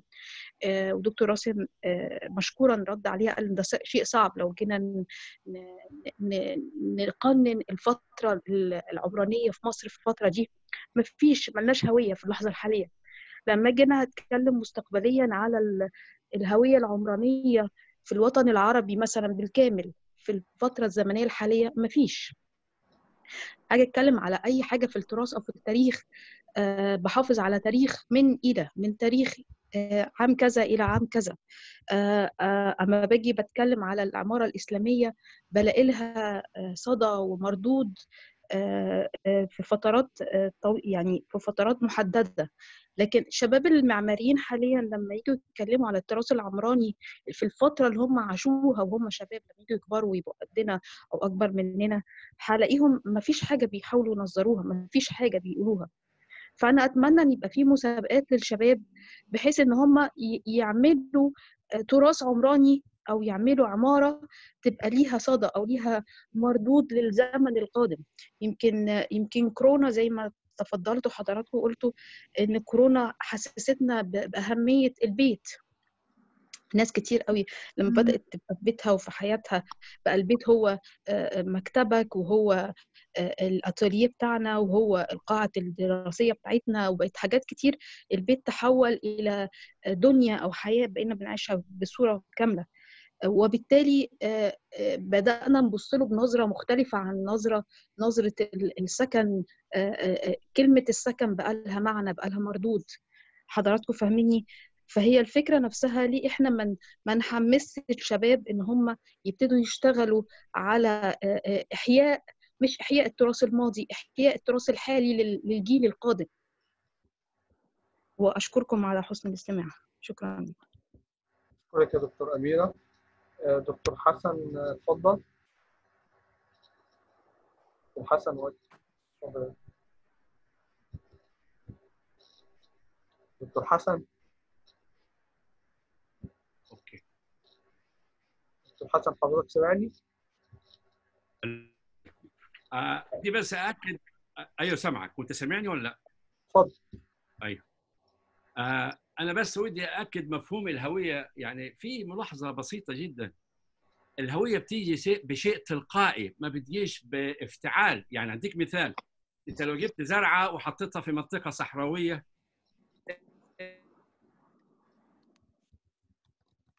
يعني أو المزروع هتتناسب مع طبيعة الأرض.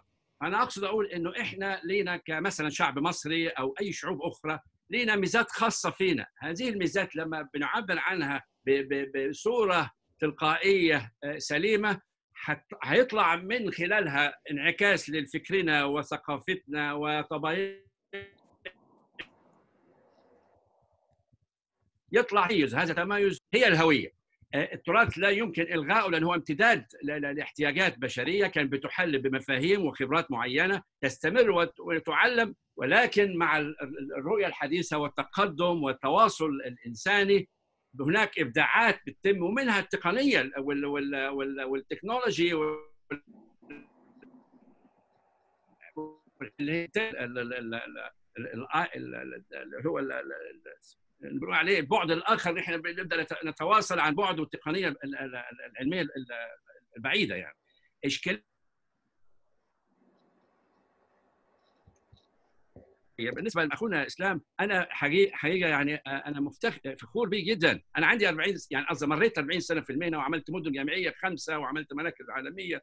لكن أنا شايف في إنسان مبدع ورائع وإحنا وإحنا سعيدين به وأي ملاحظات هي بس نوع من الإضافة وليست لأن المنهجية اللي بيمشي بيها حقيقة فخر.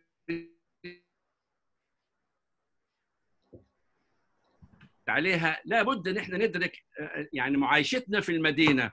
ما هياش يعني لا يمكن إن إحنا نرى إن لما يكون لنا احتياجات يومية فلا بد إن يكون لنا احتياج قربي. يعني إن لما يكون هناك خدمات تتناسب مع الاحتياج اليومي. احتياج أسبوعي بيكون أبعد. احتياج شهري سنوي بيكون مركزي.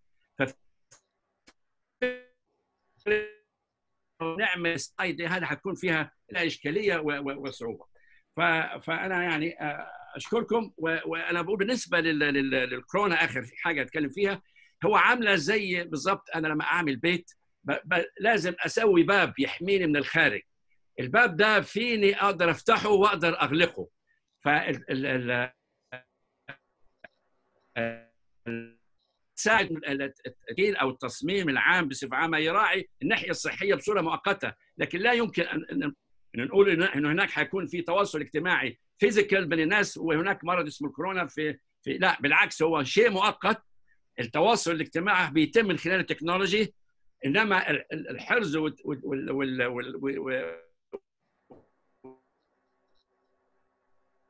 ما حتكونش خلال مرض كورونا هو اللي هيوعينا إن إحنا نتواصل مع بعض إلا من خلال التقنية.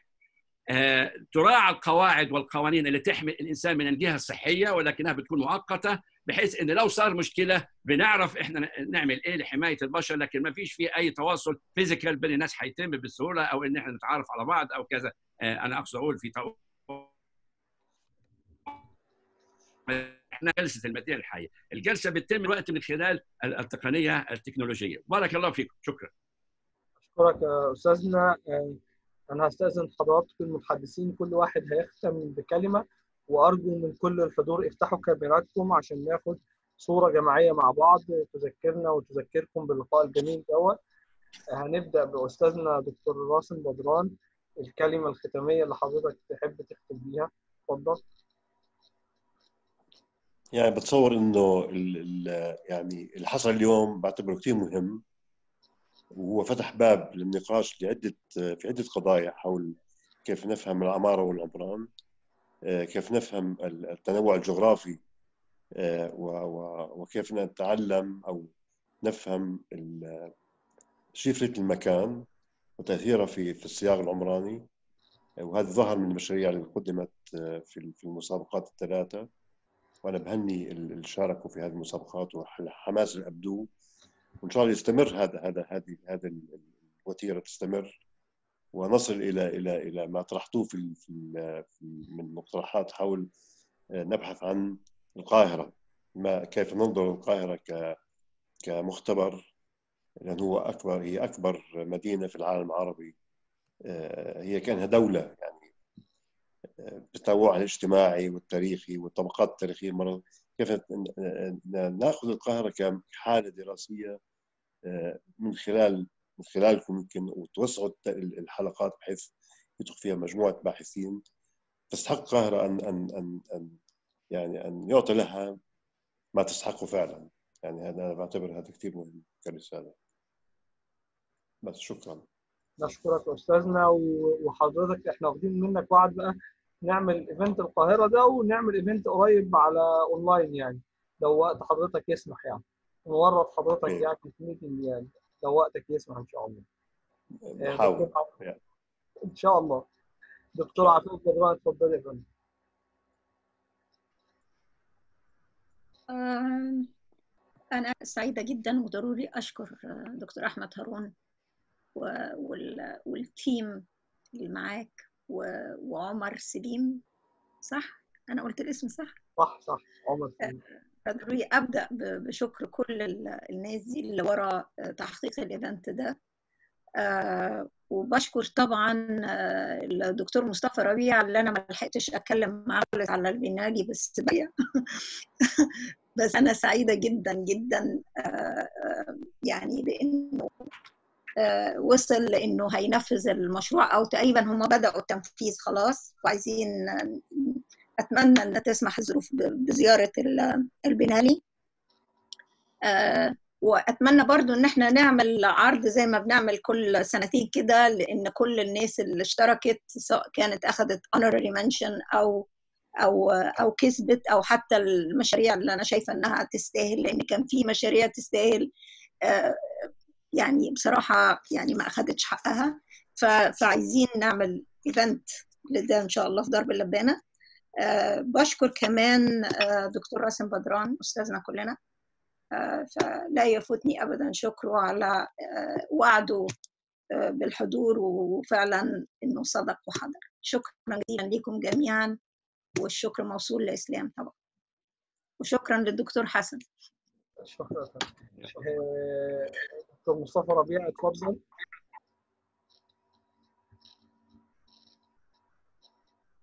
دكتور مصطفى. دكتور مصطفى موجود يا شباب. دكتور مصطفى ربيع سامعني طب اتفضل يا دكتور باشمهندس إسلام قول كلمتك لغاية ما الدكتور مصطفى ربيع يحل. يعني هو طبعا ربنا يكرمكم على المجهود والتنظيم بصراحة كل حاجة جميلة و- ودخول الدكتور راسم بدران يعني خلاها أجمل وأجمل يعني. أحب بس أختم أختم ب- بكلمة.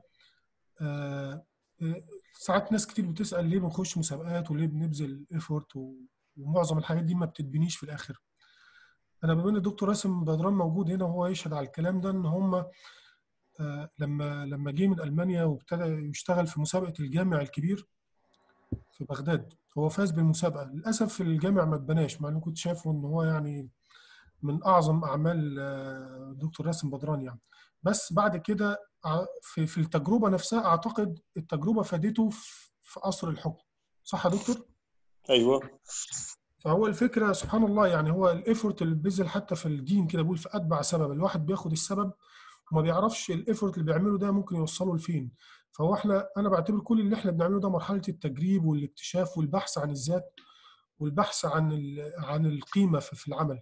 إلا ما هيجي في يوم من الأيام إن شاء الله يعني يكون التجربة دي صبغت وخدت شكل يعني يعني من التعلم أكتر فيبقى التطبيق يعني أنا بقول دايما العمارة مسؤولية.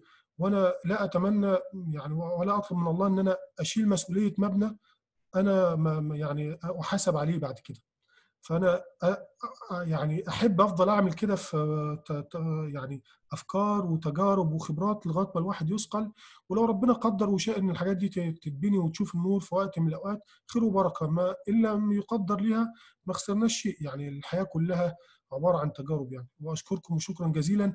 وعايز أوضح لكم حاجة أنا استفدت من كل المداخلات وكل التعليقات. والله جدا جدا وبصدر رحب وأنا من الناس اللي يعني بنبسط جدا لما حد بيعلق على الشغل لأن ده في إضافة لل- للي جاي إن شاء الله. وشكرا جزيلا. زادك الله علما وخلقا يا باشمهندس. آه، دكتور مصطفى المشكلة المايك اتحل؟ أيوه. أيوه أنا معاكم أيوه. اتفضل يا فندم كلمتك الأخيرة. آه والله أول حاجة أنا سعيد فعلا إن أنا موجود معاكم هنا والحقيقة أنا اتشرفت بحضور دكتور راسم يعني إحنا بنتعلم منه من زمان يعني. ودكتور عفاف كمان نفس الحكاية. يعني و- وشغلها إحنا كمان بنتعلم منه يعني وبنعلمه للطلبة كمان عندنا. آه إسلام الحقيقة بص إحنا متشرفين بيك صراحة في كل العالم يعني وأنت مثل مشرف لمصر وربنا يوفقك ويزيدك يا رب إن شاء الله. حابب بس قبل ما نمشي نشكر الدكتور أحمد هارون على الدعوة وعلى ال event الحلو ده وكل ال team طبعا. والحقيقة النهارده آه، زي ما قلت لكم إحنا دايما بنتعلم. ف, ف... ال- ال- ال- ال event كان النهارده إحنا كمان اتعلمنا منه. يعني أنا عايز أقول لكم خدت كمية notes وكتبت key words من ورا كلام الدكتور راسم وإسلام والدكتورة عفاف ومن ورا كمان الأسئلة اللي اتسألت. يعني عايز أقول لك أنا إيه دلوقتي أنا عندي حصيلة هتت... هتتعلم بالطلبه عندنا يعني يمكن إيه شهر كمان قدام إن شاء الله. فيا رب دايما آه، دكتور أحمد هارون تبقى مجمعنا كده دايما في حاجات مفيدة ويا رب كل الحضور يكونوا آه، استفادوا. ودكتور عفاف أنا معاكي طبعا حضرتك أنا فكرة إن إحنا نعرض كل الاعمال الناجحة للبنالي في درب اللبان دي فكرة كويسة جدا. وفعلا أنا معاكي برضو لأن في مشاركات في نفس السنة اللي إحنا شاركنا فيها كانت برضو مشاركات مشرفة وفعلا ما خدتش حقها ولكن يمكن آه، لجنة التحكيم أكيد ليها نظرة ويمكن ال- الثيم نفسه ليه نظرة مختلفة. فده ما يمنعش إن كل اللي كانوا مقدمين يعني كل الناس اللي ترشحوا لل final list إحنا كنا 32 واختاروا يمكن 12 وصفوا من 12 اختاروا واحد. كل ال 12 اللي اتصفوا كلهم أعمال مشرفة جدا. لما تفتح الكتيب فعلا هتلاقيهم كلهم مشرفين يعني. في الخير وفي حاجات مفيدة تفيد البلد وتفيد العالم كله إن شاء الله. افتح شكرا الكاميرا يا دكتور. افتح آه، طيب آه، اولا لازم نشكر المستضيف لينا دائما آه، مجموعة بيم أريبيا المهندس عمر سليم والمهندس محمد وكلمة بيم أريبيا اللي دايما مستضيفينا وكرم معانا بوقتهم ومجهودهم. جزاهم الله خيرا يعني. اتفضل يا باشمهندس عمر بقى كلمة بيم اريبيا قبل ما نختم.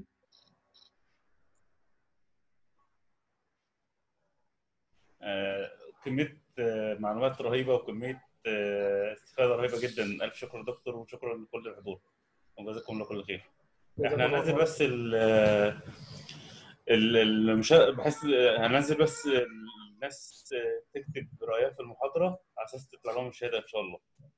آه. ال form يا جماعة اكتبوا المقترحات وفريق بيم أريبيا وفريق آه، ارك سبيس هينزلوا لكم لينكات الصفحات عشان تتابعوا ال events الجاية إن شاء الله. وإحنا يعني نشكركم جميعا طبعا وه- وهم دلوقتي بياخدوا صور screen shots للكاميرات اللي محطوطة. تمام؟ و... وهستأذن حضراتكم برضو إحنا إن شاء الله السلسلة بتاعة المسابقات تساوي فرص. هذه السلسلة ده ال round رقم اثنين إن شاء الله كنا لسه بنتكلم إن إحنا إن شاء الله هنحاول كل أسبوع نركز على تيم نركز على فكرة نركز على موضوع آه، تنورونا وجزاكم الله خيرا عنا جميعا يعني. وكلنا اتعلمنا من حضراتكم. وأتمنى يعني أنا من خبرتي أنا عشان عشت في الصين 8 سنوات وتحولت الدراسة في الصين ودلوقتي الزملاء اللي بيشاركوا في المسابقات عارفين إن الدراسة بقى جزء منها المسابقات بقى جزء من تقييم الطالب الأشيفمنت بتاعته. فبيأهلوهم من بدري قوي قوي قوي والزملاء آه، اللي بيشاركوا في مسابقات عالمية عارفين دوت. فأتمنى إن التعليم المصري بالذات بقى بحكم الانتماء ينتقل للمرحلة دي. ونتمنى نستفيد ومفيش باوندري دلوقتي ونتعلم. وخصوصا على رأي دكتور مصطفى كنا زمان بنركب من محافظة لمحافظة عشان نروح مكتبة نجيب كتاب. دلوقتي عندنا فرصة ذهبية إن نتكلم حد عالم جليل وأستاذ فاضل زي دكتور راسم زي دكتور عفاف مهندس عالمي زي باشمهندس إسلام أو دكتور عالمي زي دكتور مصطفى. فبالنسبة لطلابنا لأن أنا شايف إن في طلاب كتير منهم ناس أنا أعرفهم أنتم في فرص غير محدودة. ما تخلي حدودكم السما زي ما بيقولوا. وكل سنة وحضراتكم طيبين ونورتونا جميعا. وال link بتاع ال form هينزل على الشات واكتبوا مقترحاتكم. وإحنا على فكرة بنحترم اقتراحات الناس كلها وبنطور كل مرة. باشمهندس معاذ أبو زيد إحنا عايزين نورطك. أنت عمال تهرب مننا ففرصة يعني إنك نجيبك على الملأ وتوعدنا إنك تعمل معانا event هو فين؟ أنا نفسي أنا. ما أقدرش ما أقدرش أهرب منك. أنا تحت أمرك والله. تحت أمرك يعني في أي وقت إن شاء الله. بإذن الله. كل سنة وأنتم طيبين نورتنا يا دكتور راسم وعلى راسنا من فوق. الله يخليك. وأهل الأردن كلهم بخير والسعودية وسوريا ومصر والعراق وكل بلاد المسلمين يا رب. كل سنة وأنتم طيبين. هنسيب ال event مفتوح عشان الناس تعمل form وجزاكم الله خيرا وكل سنة وأنتم طيبين. طيب.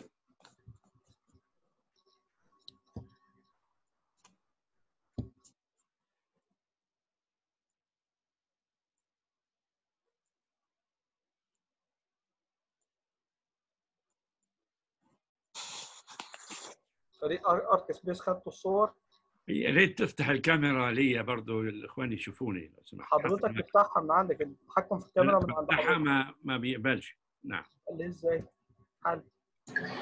مين اللي عنده مشكلة في الكاميرا؟ دكتور حسن. دكتور حسن حاضر هشوف كده لو في مشكلة من عندي. حاول حد يا شباب. بفتحها ما ما يرضاش. يعني activate طيب حاضر. شوف. أيوة. هو يسمح لي بس إذا عشان بس ناخذ صورة. خلي حضرتك co-host عشان ما يبقاش فيها مشاكل خالص. سمعت. كده ما ما فهمتش حبيبي. آه، حضرتك جرب كده جرب تاني؟ أيوه تمام. أه. تمام. افتح نورتنا يا دكتور حسن وأسعدتنا بوجود حضرتك و... ودايما ما أعرفش بان ولا لا. حضرتك. لا حضرتك قفلتها تاني. الله يحفظك. بس صورتي بانت ولا لا؟ هي. فتحت وقفلت تاني. حضرتك دوس عليها ض- ضغطة واحدة. طيب حبيبي. كده تمام. آه هتكمل بقى؟ جميعا موافقين. الله يحفظك. باشمهندس معاذ أحرجك علني ولا الكلب برايفت أوعدك. ما بنصدق في المواعيد أيوه ما شاء الله. وعد يعني مني بدنا نشوف. ربنا يجزيك يا دكتور حسن خير ونورتنا يا فندم وربنا يجزيكم خير يا جماعة. أنا استأذنكم اللي عايز يقفل الكاميرات واللي عايز يعمل فورم. رائع سعيد جدا بهذا التواصل الرائع. حضرتك يعني أكثر من مرحب بيك يعني مش عارفين نعمل لك إيه. إحنا في الصعيد بقى بما إنك. صعيدي المفروض نذبح لك يعني. إحنا في الصعيد لازم نذبح لك. نورتنا يا دكتور نورتنا. الله يخليك، الله يحفظك. جزاك الله خيرا. آه، آه، ال- ال- ال- المحاضرين آه، إحنا في ناس سألوا على ال presentation لو حد من المحاضرين حب يرفع ال presentation بتاعته هنرفعها يا جماعة عشان الأسئلة اللي عمالة تتبعت لي. أي محاضر هيسمح بإن ال presentation بتاعته يترفع اونلاين هنرفعها على طول. عشان في كتير من الشباب بيسألوا على ال presentation دكتور مصطفى. السلام عليكم يا جماعة. وعليكم السلام. شكرا. وعلى خير